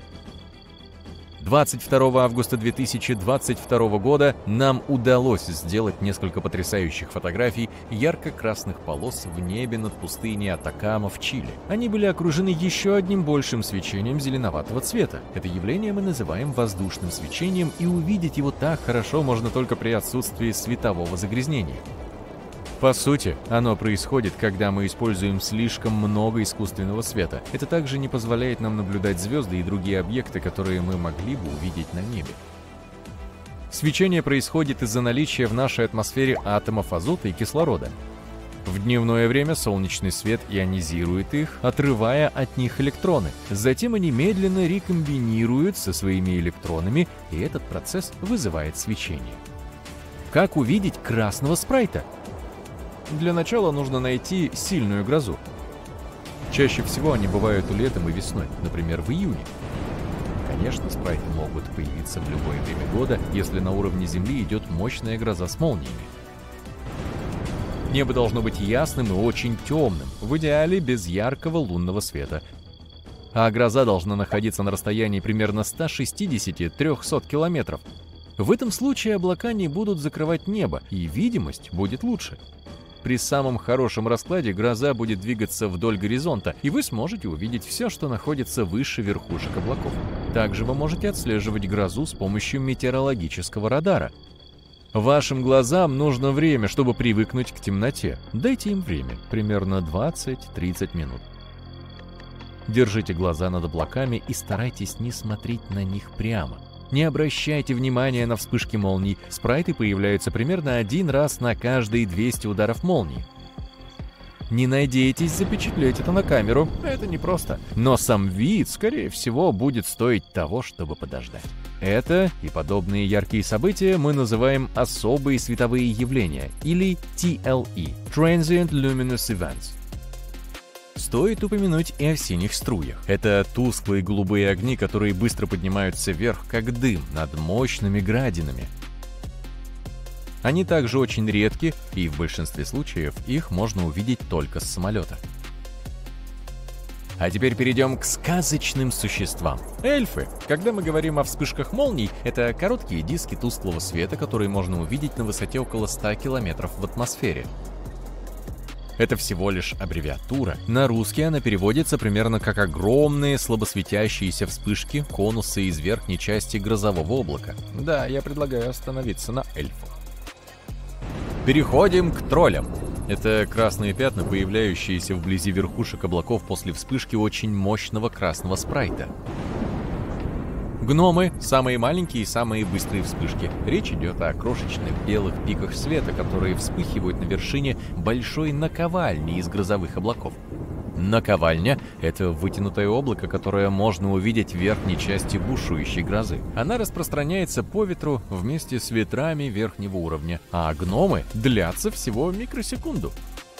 Посмотрите-ка, шаровые молнии имеют форму огненных шаров, которые могут быть размером с мяч для гольфа или вырастать до очень большого пляжного мяча. Они могут быть желтыми, красными, белыми, оранжевыми, зелеными или фиолетовыми. Они могут жить несколько секунд, а иногда и минут. На протяжении многих веков многие люди рассказывали о том, что видели шаровые молнии, иногда даже влетавшие в их дома. Однако подобные явления действительно непредсказуемы и происходят крайне редко. Ученым удалось воссоздать шаровую молнию в лаборатории, или, по крайней мере, нечто очень похожее на нее – они поняли, что шаровая молния, скорее всего, появляется после того, как молния ударяет в землю. Минеральные зерна в почве при этом испаряются. Вот нечто впечатляющее. Вулканическая молния. Эта молния рождается в шлейфах бурного извержения вулкана. Как и остальные грозы, вулканические молнии образуются при накоплении статического электричества в атмосфере Земли. А затем оно высвобождается в виде молнии. Ученые не понимают механизм полностью, но считают, что он связан с зарядами. Например, заряд льда, который является причиной образования гроз, также играет определенную роль в возникновении молний при извержении вулканов. Это происходит, когда нагретый при извержении воздух поднимается в небо и встречается с холодным воздухом, Вода, образовавшаяся при извержении, превращается в частицы льда, и когда эти частицы сталкиваются друг с другом, некоторые электроны сбиваются. Частицы льда, которые теперь имеют более положительный заряд, поднимаются в небо и собираются вместе. Или это может быть фрикционный заряд. Еще одна причина возникновения вулканических молний. Как при столкновении крошечных частиц льда происходит зарядка льда, так и при столкновении пепла и кусков породы образуются заряженные ионы. Существуют и темные молнии. Более 10 лет назад исследователи обнаружили, что грозы могут генерировать короткие, но очень сильные всплески гамма-излучения, формы света с самой высокой энергией. Они настолько яркие, что могут ослепить датчики на спутниках, даже если те находятся на расстоянии сотен километров. Они также могут создавать антиматерию. Антиматерия — это тип материи, состоящий из частиц с противоположными зарядами по сравнению с частицами обычной материи. Представьте, что у вас есть две коробки, наполненные блоками. Некоторые блоки красные, а некоторые синие. Когда эти пары соприкасаются друг с другом, они исчезают или аннигилируют и превращаются в энергию. Именно это происходит при встрече частиц материи и антиматерии. И эти вспышки могут быть результатом темных молний, поскольку они излучают свет, который на самом деле не виден. В обычных молниях участвуют медленные электроны, в темных молниях электроны высокоскоростные. Они врезаются в молекулы воздуха и таким образом производят гамма-излучение. Это происходит каждые 43,8 секунды. Я говорю об угонах в США. Да, каждую минуту кто-то теряет свой драгоценный автомобиль. Если вы хотите узнать больше об этой душераздирающей статистике, то вот, пожалуйста. Только в 2020 году в США было зарегистрировано более 800 тысяч угонов, и звание «Выбор мошенников» досталось пикапам Ford, поскольку их угоняли чаще всего. Кроме того, больше всего краш пришлось на Новый год. В общем, всем нам нужно следить следить за своими автомобилями. Очень маловероятно, что кто-то угонит ваш автомобиль, пока вы находитесь в пути, но как только вы паркуетесь, все становится гораздо проще. Поэтому к парковке нужно подходить ответственно. Иногда вам придется пройти немного больше, чтобы найти хорошо освещенное место, но это того стоит. Неправильно припаркованные автомобили могут эвакуировать. Оказывается, не все эвакуаторы настоящие, поэтому если вы когда-нибудь увидите эвакуатор возле своей машины, проверьте, не мошенники ли это. На настоящем эвакуаторе должна быть какая-нибудь фирменная символика, а его экипаж должен быть одет в униформу. Мы начали с того, что автомобиль сложно угнать во время движения. Извините, но это правда лишь отчасти. Угонщиков не волнует тот факт, что вы сидите в машине. Важный момент, даже если вы находитесь внутри автомобиля, всегда следите за тем, чтобы запирать двери. У угонщиков есть хитрые способы выманить автовладельцев из их машин. Они могут устроить ловушку и инсценировать аварию, поэтому если вы увидите, что вашу машину ударили сзади, не спешите сразу же выходить из нее. Подождите немного и остановитесь на на обочине. Убедитесь, что место, где вы остановились, безопасно и вокруг вас есть люди. При возникновении подозрений лучше позвонить в полицию. Если вы готовы доплатить за защиту своего автомобиля, вот вам идея. Вы можете установить дистанционный автомобильный стартер. Это отличная вещь не только для тех, кто живет в холодном климате и кому нужно заводить машину заранее. Его главное преимущество в том, что вы не сможете уехать на автомобиле, заведенном таким образом, поскольку этот режим не позволяет переключать передачи. Любой автомобиль имеет идентификационный номер транспортного средства или просто ВИН, на который вы, возможно, не обращали внимания. Когда воры продают угнанный автомобиль, они меняют ВИН. Чтобы замаскировать угнанный автомобиль, они используют другой ВИН от аналогичного автомобиля. Но если вы выгравируете этот номер на каждом стекле своего автомобиля, мошенники сразу увидят, что вы всерьез настроены его защитить. Кроме того, такой автомобиль будет казаться им испорченным, ведь им придется менять ВИН-код, а заодно придумывать, что делать с гравированными стеклами. Скорее всего, придется менять окна целиком, а это дорого. Перепродажа такого автомобиля покажется мошенникам слишком трудоемкой, и они решат не вкладывать в него столько усилий. Да ладно, эти парни даже не работают, и при этом им лень возиться с окнами. Кстати, профессионалы с удовольствием нанесут ВИН-номер на окна вместо вас, так что вы тоже сможете расслабиться и не тратить усилия. Кстати, если вы хотите купить подержанный автомобиль, вам стоит обратить внимание на ВИН. Некоторые автомобили как бы клонированы, то есть их ВИН не настоящий, а просто добавлен на номерной знак вручную. Вот почему перед покупкой подержанного автомобиля необходимо проверить всю документацию. Обратите особое внимание на технический паспорт и убедитесь, что ВИН там совпадает с номером ВИН на автомобиле. Вот еще один защитный гаджет. Он называется «Умная автомобильная сигнализация», и его звук противнее, чем звук будильника. Он делает две вещи. Во-первых, он издает очень громкий звук, который может как отпугнуть злоумышленников, так и привлечь свидетелей. Во-вторых, он отправляет вам сигнал тревоги, если вы почему-то не слышите этот оглушительный звук. Есть еще один секретный механизм, который поможет защитить ваш автомобиль. Это кнопка аварийной остановки, которую можно подключить к зажиганию, аккумулятору, топливному проводу и так далее. Когда вы выходите из машины, вам достаточно щелкнуть выключателем. Даже если мошенники каким-то образом украдут ваши ключи, это им не поможет. Сначала им нужно будет найти этот выключатель, чтобы завести машину. И только от вас зависит, где его спрятать. Мы все знаем, что чем больше защиты в автомобиле, тем лучше. Жулики не любят возиться с технологиями, и статистика это подтверждает. Tesla, наряду с другими высокотехнологичными автомобилями в последние годы, числится в антилидерах по угону. Однако современное не обязательно означает защищенное от мошенников. Многие крутые автомобили оснащены диагностическими портами управления двигателем. Это очень удобно, но есть и обратная сторона. Порты могут помочь разблокировать и даже завести автомобиль. Поэтому если в вашем автомобиле есть такая функция, подумайте о покупке чехла с замком. Всегда проверяйте, закрыли ли вы окна, прежде чем покинуть автомобиль. Даже маленькой щели достаточно, чтобы мошенник мог открыть дверь и угнать машину. И не говорите, что это очевидно. Я почему-то вижу машины с открытыми окнами каждый день.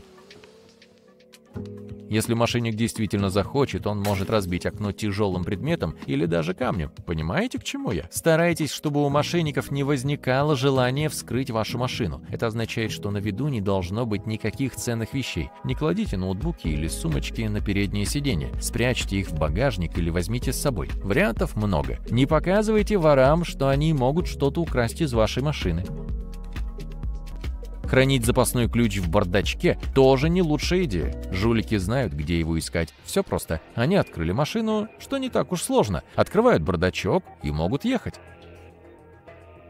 Итак, допустим, вы по-прежнему храните ценные вещи в машине, а запасной ключ в бардачке. И вам это нравится. Тогда подумайте об установке замка на рулевое колесо. Он не слишком функционален, но эксперты ценят его как визуальный сдерживающий фактор. Помните, что воры ленивы и не хотят возиться со всякими гаджетами. Специалисты утверждают, что мошенники с большей вероятностью пройдут мимо автомобиля, где установлен замок на рулевом колесе. Некоторые из них, кстати, действительно работают, так что даже если мошенник захочет увести вашу машину, ему это не удастся. Снять хороший замок очень сложно.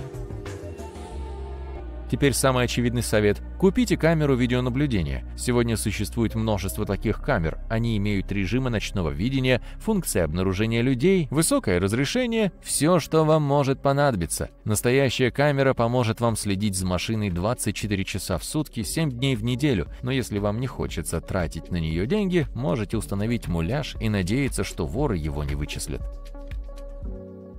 Ладно, давайте представим худшее. Кто-то проигнорировал все эти советы и остался без машины. Что ему делать? Прежде всего, этот кто-то должен предоставить информацию полиции, поэтому убедитесь, что вы знаете цвет. Я знаю, это просто. Пожалуйста, не используйте сложные формулировки при описании цвета машины. Например, не говорите «мох» вместо темно-зеленый. Вам также нужно знать год выпуска, марку и модель. Проверьте, что вы все это помните. В полиции обязательно спросят номерной знак и вин. Если вы не помните их наизусть, запишите их в телефоне.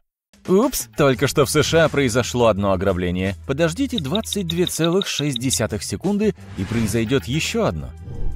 Не волнуйтесь слишком сильно о своем имуществе. Предупрежден, значит вооружен. Давайте рассмотрим несколько советов о том, как защитить дом.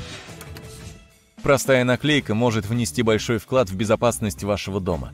Например, вы можете использовать наклейку, на которой написано, что у вас есть охранная система, даже если ее нет. Возможно, это звучит не слишком убедительно, но грабители предпочитают не связываться с такими домами. Еще один совет – убедитесь, что наклейка выглядит правдоподобно. Самодельная табличка не подойдет, лучше потратиться и купить качественную наклейку.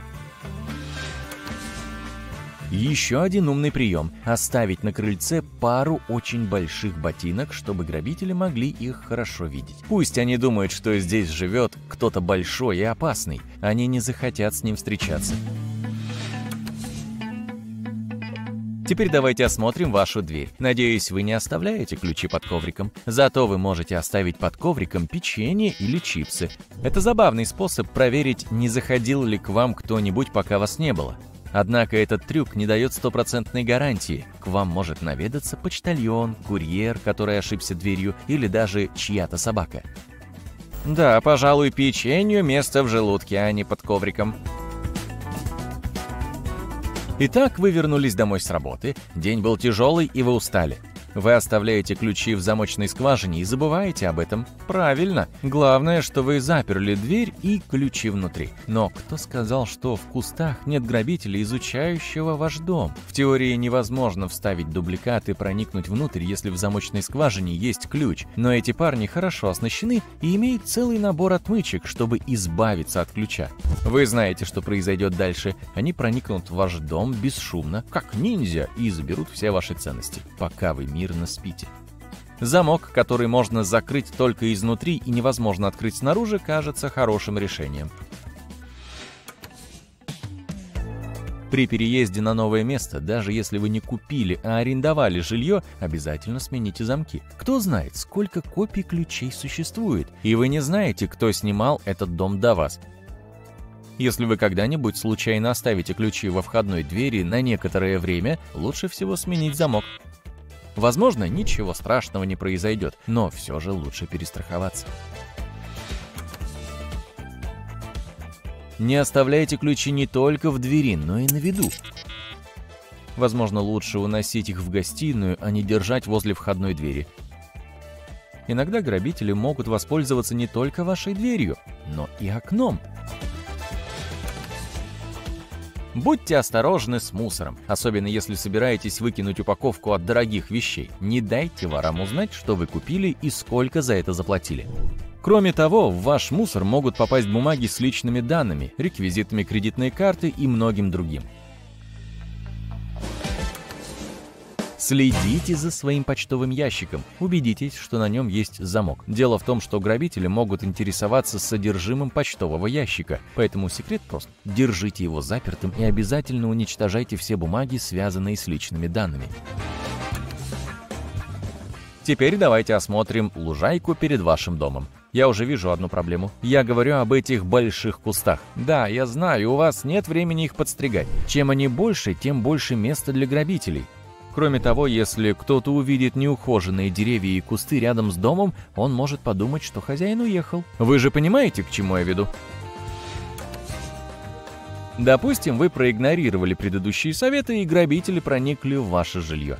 Самое интересное для них – это, конечно же, наличные – если у вас дома нет наличных, можете пропустить этот пункт. Но если у вас есть ценные вещи, подойдите к делу творчески. Наличные можно засунуть в пластиковый пакет и спрятать в большой контейнер с остатками пищи. Также можно положить пластиковый пакет в бутылку из-под моющего средства, которую вы храните в кладовке или на кухне. Грабители вряд ли поймут, что это тайник. А вот прятать наличные деньги или драгоценности в контейнере для лекарств не слишком умно, и морозильник тоже не лучший вариант. Многие грабители любят проверять его в первую очередь. Пора выяснить, правильно ли вы храните ключи. Если вы держите ключи от машины и дома вместе, то, возможно, вам стоит пересмотреть подход. Представьте, что вы потеряли ключи, а грабители каким-то образом узнали, где вы живете. Они не только заберут то, что им нужно, но и получат транспортное средство для перевозки вашего с трудом нажитого имущества. Следите за ключами от гаража, особенно если есть возможность пробраться в дом через гараж. Даже если нет, кто сказал, что в гараже нет ценных вещей? Для грабителей не существует никаких ограничений. Они могут пробраться в дом даже через маленькие окна. Причина, по которой они предпочитают двери, заключается в том, что это самый безопасный способ. Протискиваясь через окно, они могут поцарапаться. И дело не в том, что они не хотят портить свой внешний вид. Если они оставят свой ДНК, их можно будет вычислить. Взломщики тщательно следят за тем, чтобы не оставлять следов. Например, в отчете из Англии утверждается, что только около 3% из них оставляют криминалистические улики. Чтобы защитить себя ночью, есть несколько вариантов. Первый – вставьте в замочную скважину большую скрепку или булавку. Вы можете использовать запасную пару ключей, если они у вас есть. Вы сделаете так, что грабителям будет очень трудно, если вообще возможно использовать дубликаты ключей. Второй способ – можно забаррикадироваться. Используйте тяжелый стул, книжную полку, да что угодно. Серьезно, почему бы и нет, если это поможет вам чувствовать себя в безопасности. Если ваша дверь открывается наружу, стопер может быть очень полезен. Стул тоже подойдет. Закрепите его под дверной ручкой. Это не самая мощная система безопасности, но она делает свою работу. Можно также связать дверные ручки вместе. Муляж камеры видеонаблюдения может защитить вас и днем, и ночью. Опять же, взломщики не так бесстрашны, как кажется. Если у вас есть настоящая камера видеонаблюдения, убедитесь, что злоумышленники не смогут ее деактивировать. Установите ее в каком-нибудь труднодоступном месте. Если вы готовы вложить некоторую сумму в защиту дома, то светильник с датчиком движения — это то, что вам нужно. Преступники любят темные места, и если они приблизятся к вашему дому, их отпугнет яркий свет. Это решение работает до тех пор, пока грабители думают, что вы дома. Если же они уверены, что вас нет, оно будет менее эффективным. Таймеры для телевизора и радио – еще один прием. С их помощью вы можете сделать вид, что находитесь дома, даже если вас нет. Идеальный вариант – светильник с датчиком движения. Этот трюк поможет перехитрить некоторых грабителей, но опять же, он не дает полной гарантии. Некоторые злодеи не побоятся вломиться в дом, даже если включен телевизор. Как насчет живой сигнализации? Она тоже может быть настоящей или не настоящей. Я говорю о собаках. Помните фокус с ботинками? Вы можете проделать нечто похожее с собакой, если у вас ее нет. Оставьте на крыльце большую миску, но убедитесь, что все выглядит по-настоящему. Миска не должна быть нетронутой и совершенно новой. Вы знаете всех своих соседей? Если нет, самое время испечь печенье и навестить их, чтобы познакомиться. Мошенники не очень любят действовать в районах, где люди знают друг друга и заботятся друг о друге. Шансы, что подозрительную активность заметят и донесут о ней, слишком высоки. Так что своего рода соседский дозор – это отличный способ защитить свой дом и, возможно, найти новых друзей. Вы заселяетесь в гостиничный номер, подключаетесь к Wi-Fi, прыгаете на кровати и выкладываете 15 фотографий вида из окна. Когда первоначальный всплеск возбуждения проходит, вы замечаете подозрительно мигающий огонек на большом телевизоре. Быть может, за вами кто-то наблюдает, или вы просто насмотрелись шпионских фильмов? Скрытые камеры бывают разных форм и размеров. Большие камеры легко заметить, но маленькие могут быть очень хитрыми и почти неразличимыми – они могут прятаться за мебелью, в украшениях интерьера или вентиляционных отверстиях, а также в любом другом непредсказуемом месте. Существуют даже специальные камеры, которые можно спрятать в непримечательных передвижных предметах, таких как будильники, рамки для фотографий, вазы и лампы. Проверьте, не развернуты ли эти предметы под странным углом, не расположены ли они так, чтобы кто-то мог лучше видеть вашу кровать или ванную комнату. Самый простой способ обнаружить скрытую камеру – поискать отражение объектива, потому что все камеры оснащены объективами. Выключите свет и медленно просканируйте комнату с помощью фонарика, лазерной указки или специального беспроводного детектора шпионских камер. У последнего обычно есть инфракрасные сканирующие лампы и лампа для подсветки. Когда вы обнаружите красное отражающее пятно, включите фонарик, чтобы проверить, нет ли там скрытой камеры. Обязательно изучите вентиляционные отверстия, а также любые другие отверстия и щели в стенах или на потолке. Некоторые современные детекторы даже показывают, что видит камера, и с легкостью ее обнаруживают. Однако такие детекторы работают только с включенными камерами. Ваш мобильный телефон также может помочь вам найти скрытые угрозы. Включите Bluetooth и прогуляйтесь по номеру. Посмотрите, не появляются ли на экране неизвестные устройства – еще одна идея – установить приложение для сканирования сети, которое показывает все устройства, подключенные к сети Wi-Fi, которые вы используете в отеле. После завершения сканирования изучите список устройств, подписанных как IP-камера или камера. Кроме того, вы можете поставить телефон в режим селфи, выключить свет, закрыть шторы и медленно оглядеть комнату, сосредоточившись на экране. Следите за фиолетовым или белым светом на экране. Вы можете поиграть в детектива, позвонив другу или родственнику и начав ходить по комнате. Секретные камеры должны излучать особые радиочастоты. Скорее всего, они будут мешать сигналу телефонного звонка.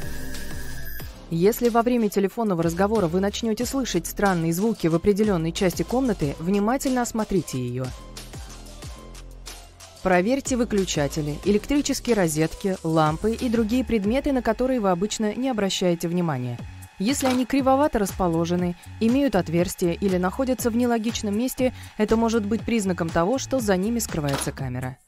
Многие шпионские устройства нуждаются в проводах, и тот, кто их устанавливал, должен был спрятать эти провода за виниловым плинтусом. Вот почему место стыка пола и стены – еще одна область, которую стоит проверить. Выступы, неровности или изменения цвета могут быть признаком, что там спрятан микрофон. То же касается пятен на потолке и стенах, даже если они не больше монеты.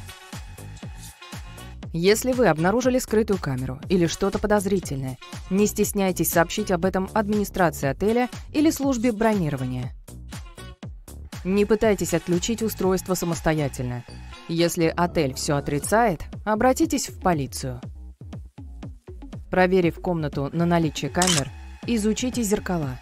Кто-то может наблюдать за вами с другой стороны. Сначала посмотрите, встроено ли зеркало в стену или его можно регулировать. Полупрозрачное зеркало будет встроено в стену. Вы можете провести простой тест для проверки зеркала. Прижмите кончик пальца к стеклу и надавите достаточно сильно, чтобы остался отпечаток, когда вы уберете палец. Изучите отпечаток. Если между отпечатком и зеркалом, где должно быть стекло, есть небольшой зазор, значит это обычное зеркало. На полупрозрачном зеркале зазора не будет. Еще один способ проверить, не следят ли за вами сквозь полупрозрачное зеркало, просто постучать по стеклу. Если с другой стороны стекла пустота, звук будет соответствующим. Двойное зеркало требует более яркого света с другой стороны, чем с вашей. Подойдите к нему вплотную и сложите руки козырьком. Вы видите свет за зеркалом? Если да, то, возможно, за вами наблюдают. Прежде чем покинуть комнату или лечь спать, убедитесь, что все двери надежно заперты.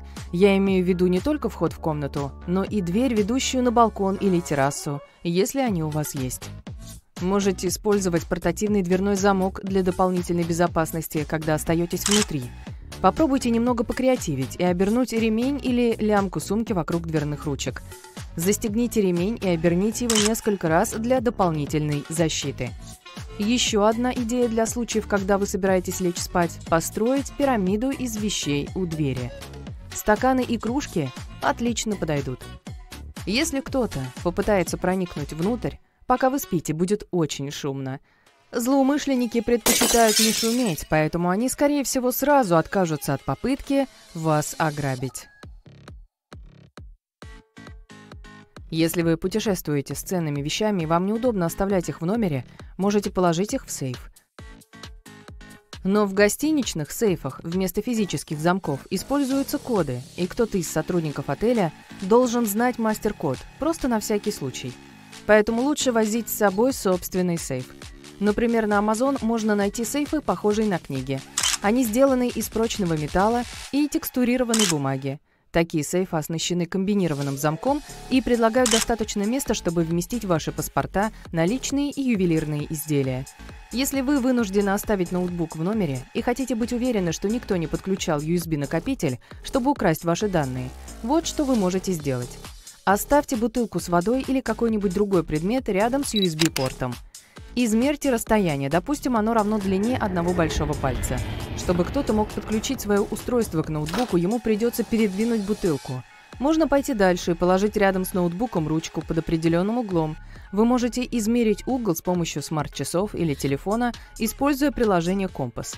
Опять же, если кто-то сдвинет ручку, вы об этом узнаете. Даже такая простая вещь, как табличка «Просьба не беспокоить» поможет вам выяснить, входил ли кто-то в вашу комнату, пока вас не было. Создайте впечатление, что вы уходили в спешке, а табличка случайно застряла между дверью и дверной коробкой. Если вы вернулись, а табличка больше не зажата, значит кто-то проигнорировал ее и пытался вас потревожить. В этом случае вы можете обратиться на ресепшн и попросить кого-нибудь войти в номер вместе с вами, чтобы обеспечить вашу безопасность. Если вы беспокоитесь о чистоте в номере не меньше, чем о своих вещах и личной безопасности, эта информация для вас. За 8-часовую смену работникам гостиниц обычно приходится обслуживать до 20 номеров. Это означает, что на уборку вашего номера у них будет не больше 30 минут. Этого хватит, чтобы заправить постель, вымыть полы в комнате и в ванной, опустошить мусорные ведра и протереть пыль со всех поверхностей. Но у них редко хватает времени на уход за мелкими предметами, такими как выключатели, ручки дверей и ящиков и пульты дистанционного управления. И именно с этими предметами вы будете постоянно контактировать. На них может быть больше микробов, чем в туалете – Поэтому, если вы хотите быть уверены, что эти микробы не попадут к вам на руки, возьмите с собой побольше антибактериальных салфеток, чтобы очистить все эти предметы, прежде чем прикасаться к ним. Эй, смотрите! Это ваш друг Юра, а с ним собака. Вы никогда ее раньше не видели. Все потому, что это новый щенок его сестры.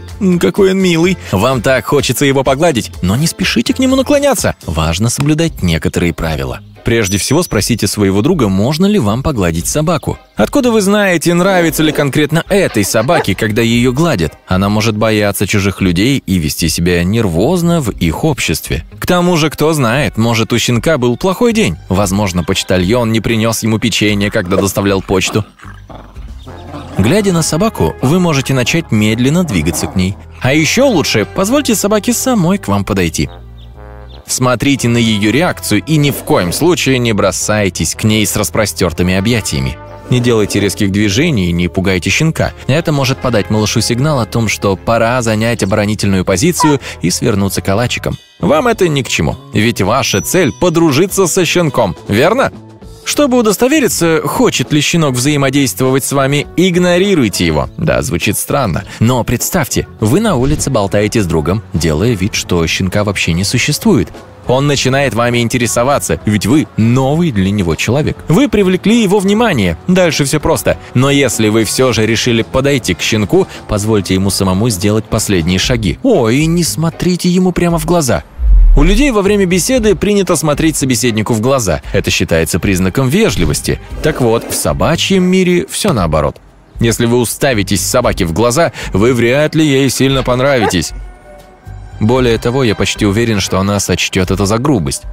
Итак, вы успешно подошли к собаке, которую очень хотите погладить. Дайте ей вас обнюхать. Примите расслабленную позу, только медленно, ведь вы не хотите напугать своего нового друга. Теперь можете протянуть руку все так же медленно. Держите руку ладонью вниз, пальцы слегка согните. Это для безопасности. Укус щенка тоже может быть болезненным. Позвольте собаке к вам привыкнуть. Если вы заметили, что она долго обнюхивает вашу руку, дайте ей время. Собакам оно тоже нужно, чтобы привыкнуть к незнакомцам. Однако, если собака сильно обрадуется, она может посягнуть на ваше личное пространство, прыгая вокруг и облизывая вас. Только не волнуйтесь, сохраняйте спокойствие. Если начнете чувствовать дискомфорт, вы можете легко выбраться из этой ситуации. Сложите руки и отвернитесь. Вы станете скучным для щенка, и он начнет терять к вам интерес. Тогда-то хозяин и сможет его успокоить или вовсе унести от вас. Если хотите поговорить с собакой, не забудьте перейти на английский, ведь это самый распространенный язык среди собак. Ладно, это я выдумал. Просто говорите тихим, успокаивающим голосом. Настал момент, которого вы так ждали. Вы можете погладить щенка, только не набрасывайтесь на него с объятиями. Сохраняйте темп, с которым двигались до этого. Не гладьте собаку по голове. Если вы это сделаете, ваша рука выйдет из ее поля зрения. Согласитесь, рука, возникающая из ниоткуда, может напугать кого угодно. Вы можете начать поглаживать уши и шею собаки. Еще собакам нравится, когда им чешут спину и плечи. В процессе взаимодействия не забывайте следить за языком тела собаки. Запомните, если собака слегка изогнулась, виляет хвостом и возбужденно крутится вокруг вас. Это хороший знак. Это значит, что она хочет узнать вас поближе. Нам очень нравится, когда собаки, играя, слегка склоняются к земле и вытягивают лапы. Если собака так делает, вам повезло, она хочет играть. Но будьте начеку, чтобы заметить поведение, которое указывает, что ей не очень-то нравится ваша компания. Если собака оскалила зубы и рычит на вас, стоит отойти. Если хвост стоит торчком, это может означать, что она чувствует угрозу. Есть еще один признак того, что собака напряжена или встревожена. Она облизывается или даже зевает. Взаимодействуя с собаками, всегда проявляйте уважение и помните, что у них есть свои личные границы – вы возвращаетесь домой, где у порога уже ждет ваш собственный пес Рокки. Он, как всегда, радостно облизывает вам лицо и прыгает вокруг. Его лучший друг дома. Чтобы ваш пес любил вас еще больше, время от времени опускайтесь на его уровень и валяйтесь на полу вместе со своим приятелем. В процессе не забывайте одаривать пса поцелуями и лаской. Им это нравится пес тут же ответит вам с двойной силой. Возможно, все ваше лицо будет в слюнях, но это ведь здорово. Вы только посмотрите, как он счастлив, когда смотрит на вас. Важно радовать своего питомца. Например, можно взять мячик и поиграть вместе. Вообще, это не обязательно должен быть мяч. Пластиковая бутылка тоже подойдет. Или, скажем, вы выгуливаете своего приятеля в лесу, и он приносит вам огромную палку. Пес виляет хвостом, чтобы показать вам, как он гордится собой. Если он пытается дать вам эту палку, то, скорее всего, он хочет поиграть. Хватайте палку и кидайте ее. Не успеете досчитать до 10, как пес принесет ее обратно. Погодите, теперь у него две палки? Что ж, так еще веселее. В лесу есть небольшое озеро. Некоторые собаки просто обожают воду. Если ваш пес такой же, как мой, оказавшись на пляже или у озера, он будет проводить больше времени в воде, чем с вами на берегу. Но прежде чем пустить пса в воду, убедитесь, что он умеет плавать. Зайдите в воду вместе с ним и понаблюдайте. Если он не умеет плавать, есть другой способ дать псу насладиться водой. Спасательный жилет для собак. Только проверьте, что он хорошо затянут перед тем, как вы вместе нырнете. Помните, как в детстве вы целыми днями играли с друзьями в прятки во дворе? Что ж, представьте себе, вы можете делать то же самое со своей собакой. У собак отличное чутье, и они очень любят хвастаться своим острым нюхом. Вы наверняка замечали, как ваш пес ведет себя во время прогулок. Он либо смотрит по сторонам, либо что-то вынюхивает. Хорошенько спрячьтесь и позовите своего пса. Он придет вас искать. Скорее всего, сначала он будет в замешательстве, но как только он вступит в игру, вас обоих ждет веселье. Также важно заботиться о социальной жизни собаки. Ходите на встречи с другими собаками, особенно если ваша еще щенок. Это научит ее не бояться других животных. Встреча с друзьями – это важная часть вашей социальной жизни. Тоже касается и вашей собаки. Собаки приходят в восторг, встречаясь с кем-то новым. А если у них будет целый день, чтобы познакомиться, они точно весело проведут время. Вы даже можете устроить целую щенячью вечеринку. Пока собаки резвятся вместе, вам будет что обсудить с их хозяевами. А в конце дня ложась спать, вы вместе со своим псом сможете разделить спокойные моменты тишины. Мой пес любит сидеть на коленях. Он не упускает шанса запрыгнуть на меня, даже если я сижу за компьютером. Похоже, он не знает, что значит оплачивать счета. Но я не могу отказать своему любимцу, поэтому иногда откладываю работу на пару минут, чтобы почесать ему животик. Ведь он это заслужил. Есть множество других способов занять своего пса. Можно научить его новой команде. И не важно, сколько ему лет. Важно лишь то, любит ли он учиться. Если он еще не умеет переворачиваться, берите пакетик с вкусняшками и за работу. Пес будет рад не меньше вас. Вы также сможете продемонстрировать новые умения, когда к вам придут друзья. Хороший пес, Рокки! Ах, какой хороший мальчик! Вы знаете, что большинство взломов происходит в середине дня? ФБР объясняет это тем, что в середине дня многие люди находятся вне дома. Не дайте ворам проникнуть в ваш дом. Вот 10 советов по защите вашего жилища и некоторые предметы, которые могут вам понадобиться. Номер один в нашем списке – портативные дверные замки. Они предназначены не только для обычных домов. Допустим, вы арендовали жилье для отпуска. Вы можете взять с собой такой переносной замок – Часто в жилье для отдыха помимо обычного замка есть дополнительные запорные механизмы, например, цепочки, прикрепленные к двери, но не стоит полагаться на них. Эти механизмы держатся только на винтах, это означает, что их легко выдернуть. Есть множество моделей переносных замков, так на что же стоит обратить внимание? На простоту использования, которая позволит быстро установить или снять замок в экстренной ситуации. Такие изделия подходят для большинства распашных дверей. Вот хорошая модель Адалог. И вы можете купить ее в интернете. Она недорогая, универсальная и, что самое главное, поставляется в собранном виде. Вы можете повысить уровень безопасности за считанные секунды. Ставьте когти в ударную пластину двери, а затем откройте дверь. Вот и все. Грабители не задерживаются в вашем доме и не пытаются украсть тяжелые вещи вроде телевизора. Они хотят войти и выйти меньше, чем за 10 минут. И вам стоит принять некоторые меры, чтобы их замедлить. Для этого отлично подойдет ламинированное стекло, так что, возможно, вам стоит на него потратиться. Обычные окна, изготовленные из закаленного стекла, могут легко разбиться, но ламинированные стекла похожи на щиты. Они трескаются, но не разбиваются – Вместо того, чтобы издавать грохот и привлекать внимание, грабитель, скорее всего, уйдет. Структура ламинированного стекла отличается от обычного. Она сохраняет целостность изделия даже после сильного удара. Окна из ламинированного стекла в 100 раз жестче и в 5 раз прочнее стандартных. Что делает эти стекла особенными?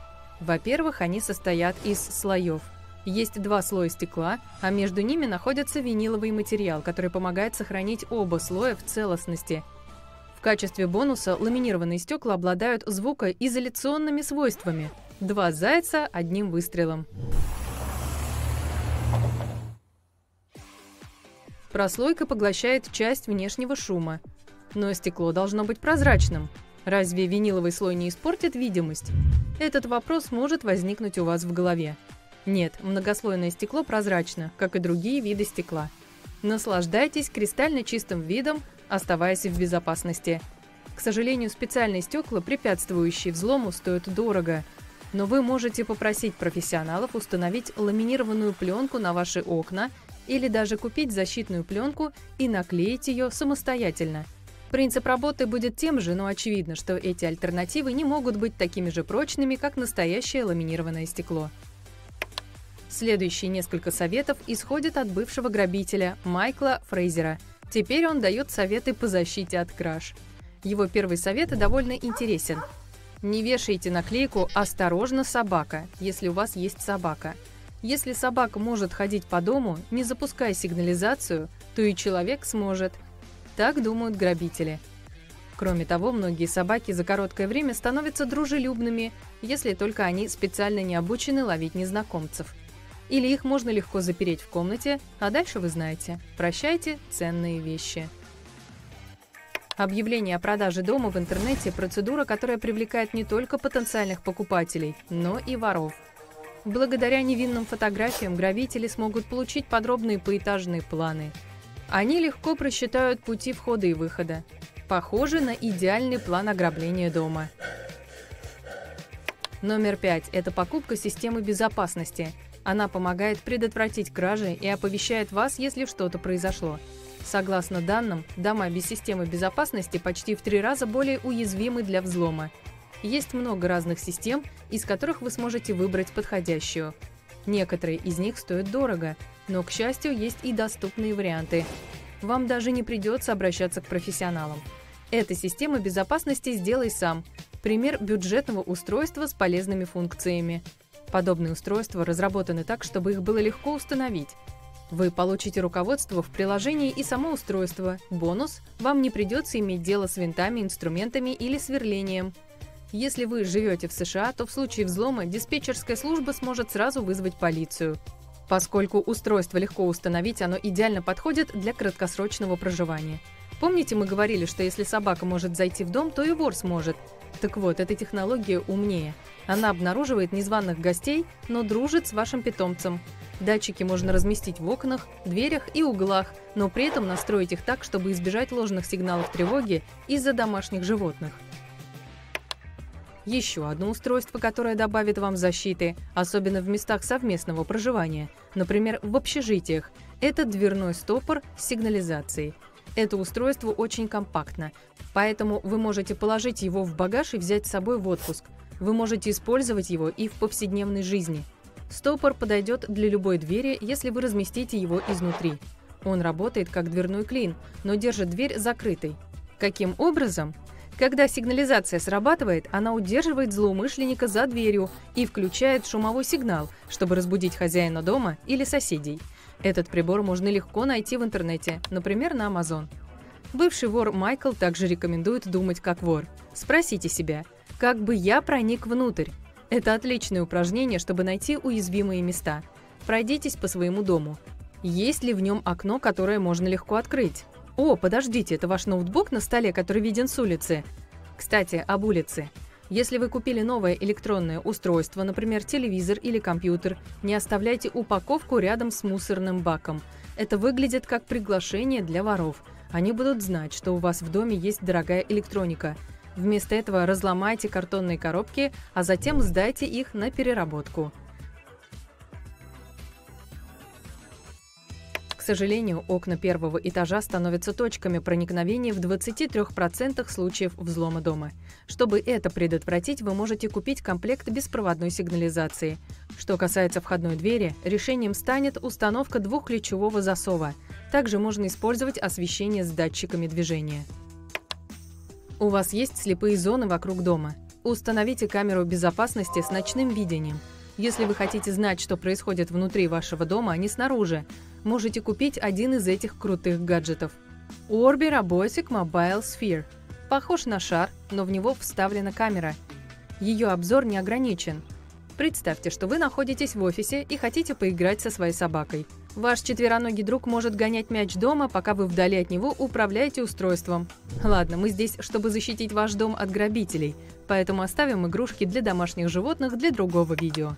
Вот шокирующая правда о заборах. Большинство людей считают, что заборы – это стражи, защищающие их собственность. Жаль вас огорчать, но даже высокие и прочные заборы не так надежны, как вы думаете. Правило номер один для вора – не быть пойманным – И если он ночью проникнет за ваш забор, он будет прекрасно защищен. Соседи не смогут увидеть, что это за человек, если только у них нет рентгеновского зрения. Забор полезен, если через него трудно перелезть. Мы ставим заборы ради ощущения приватности, однако через заборы из металлических прутьев, сетки или штакетника злоумышленникам труднее перебраться. Итак, мы взломали код взломщиков. Следуя советам из нашего списка, вы сможете предотвратить кражу со взломом и обезопасить себя. А с вами случались подобные неприятные инциденты? Если да, возможно, у вас есть идеи, которые помогут другим зрителям Адами быть начеку. В вашем районе участились кражи со взломом. И у вас есть опасения по поводу того, может ли ваш дом быть уязвимым. У вас нет системы наблюдения, поэтому сегодня вечером, перед тем, как лечь спать, вы наклеиваете фольгу на ручку входной двери. Это поможет определить, если кто-то украдкой попытается войти, пока вы спите. На следующее утро вам показалось, что фольга слегка порвана. Кто-то здесь был и он обязательно вернется. Еще вариант повесить на дверную ручку кружку. Когда ручка повернется, кружка упадет. Этот шум разбудит вас и, возможно, отпугнет незваного гостя. Помните, как недавно к вам заходил торговый представитель? Он сказал, что работает рядом и попросил воспользоваться вашим туалетом. Вы ему отказали и даже почувствовали себя из-за этого неловко, но это было правильно. Около 60% краж со взломом совершаются кем-то, кого вы знаете или встречали ранее. Этот торговец, направляясь в ванную, мог сделать что-нибудь такое, что потом помогло бы ему легче к вам проникнуть. А возможно, он хотел взглянуть на вашу систему безопасности, оценить структурную целостность вашего дома и выяснить, какая ценная добыча у вас может быть. И сегодня вы отправляетесь в отпуск. Нужно подготовить свой дом и как следует его защитить.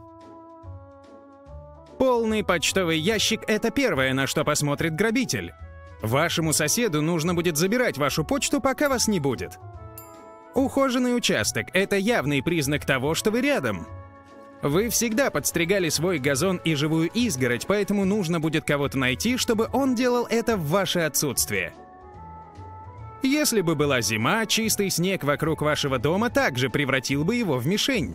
Наличие следов, говорящих о недавней активности, тоже послужит сдерживающим фактором.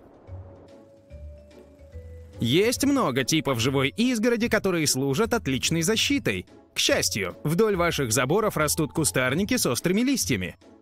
Если кто-то к вам запрыгнет и приземлится на острый или колючий куст, он немедленно закричит от боли. Это предупредит соседей о незваном госте. А в листве останутся клочки одежды, которые позже можно будет использовать в качестве улик. Готовясь к поездке недели ранее, вы открывали и закрывали шторы в произвольное время в течение дня. Вы позаботились о том, чтобы не было четких шаблонов, так что не страшно, если они останутся открытыми, пока вас не будет. Грабители проводят несколько дней, прогуливаясь или проезжая по окрестностям, определяя активность у каждого дома.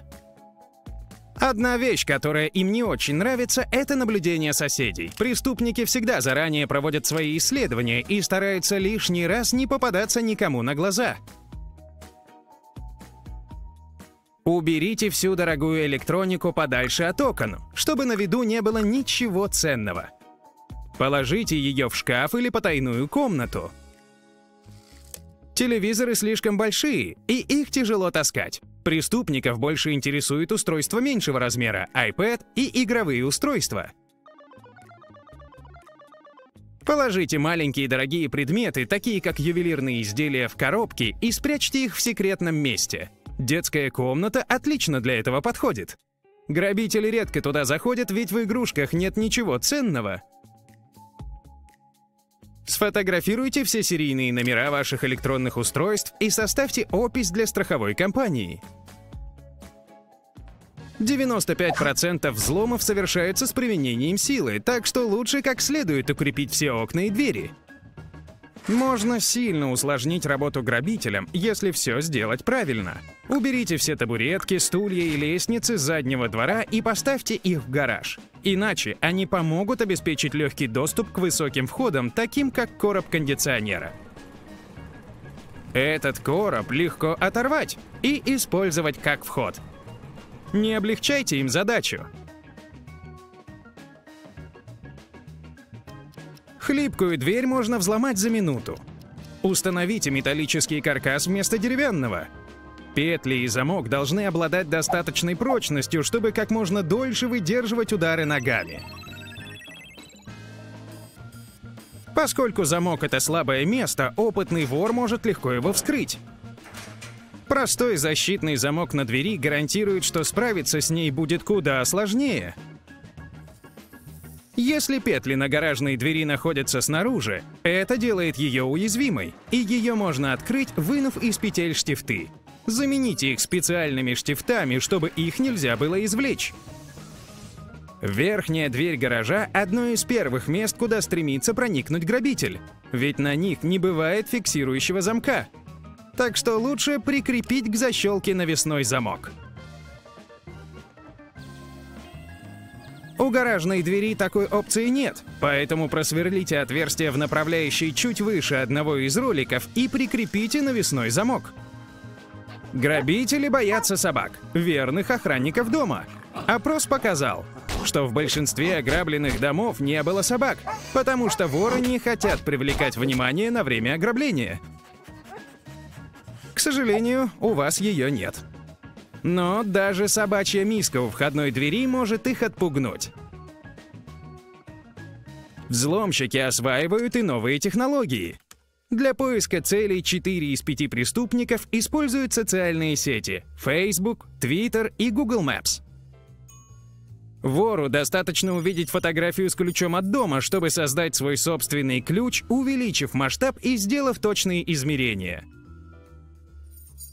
Убедитесь, что ваша беспроводная сеть защищена и использует надежный пароль. У вас могут украсть не только вещи.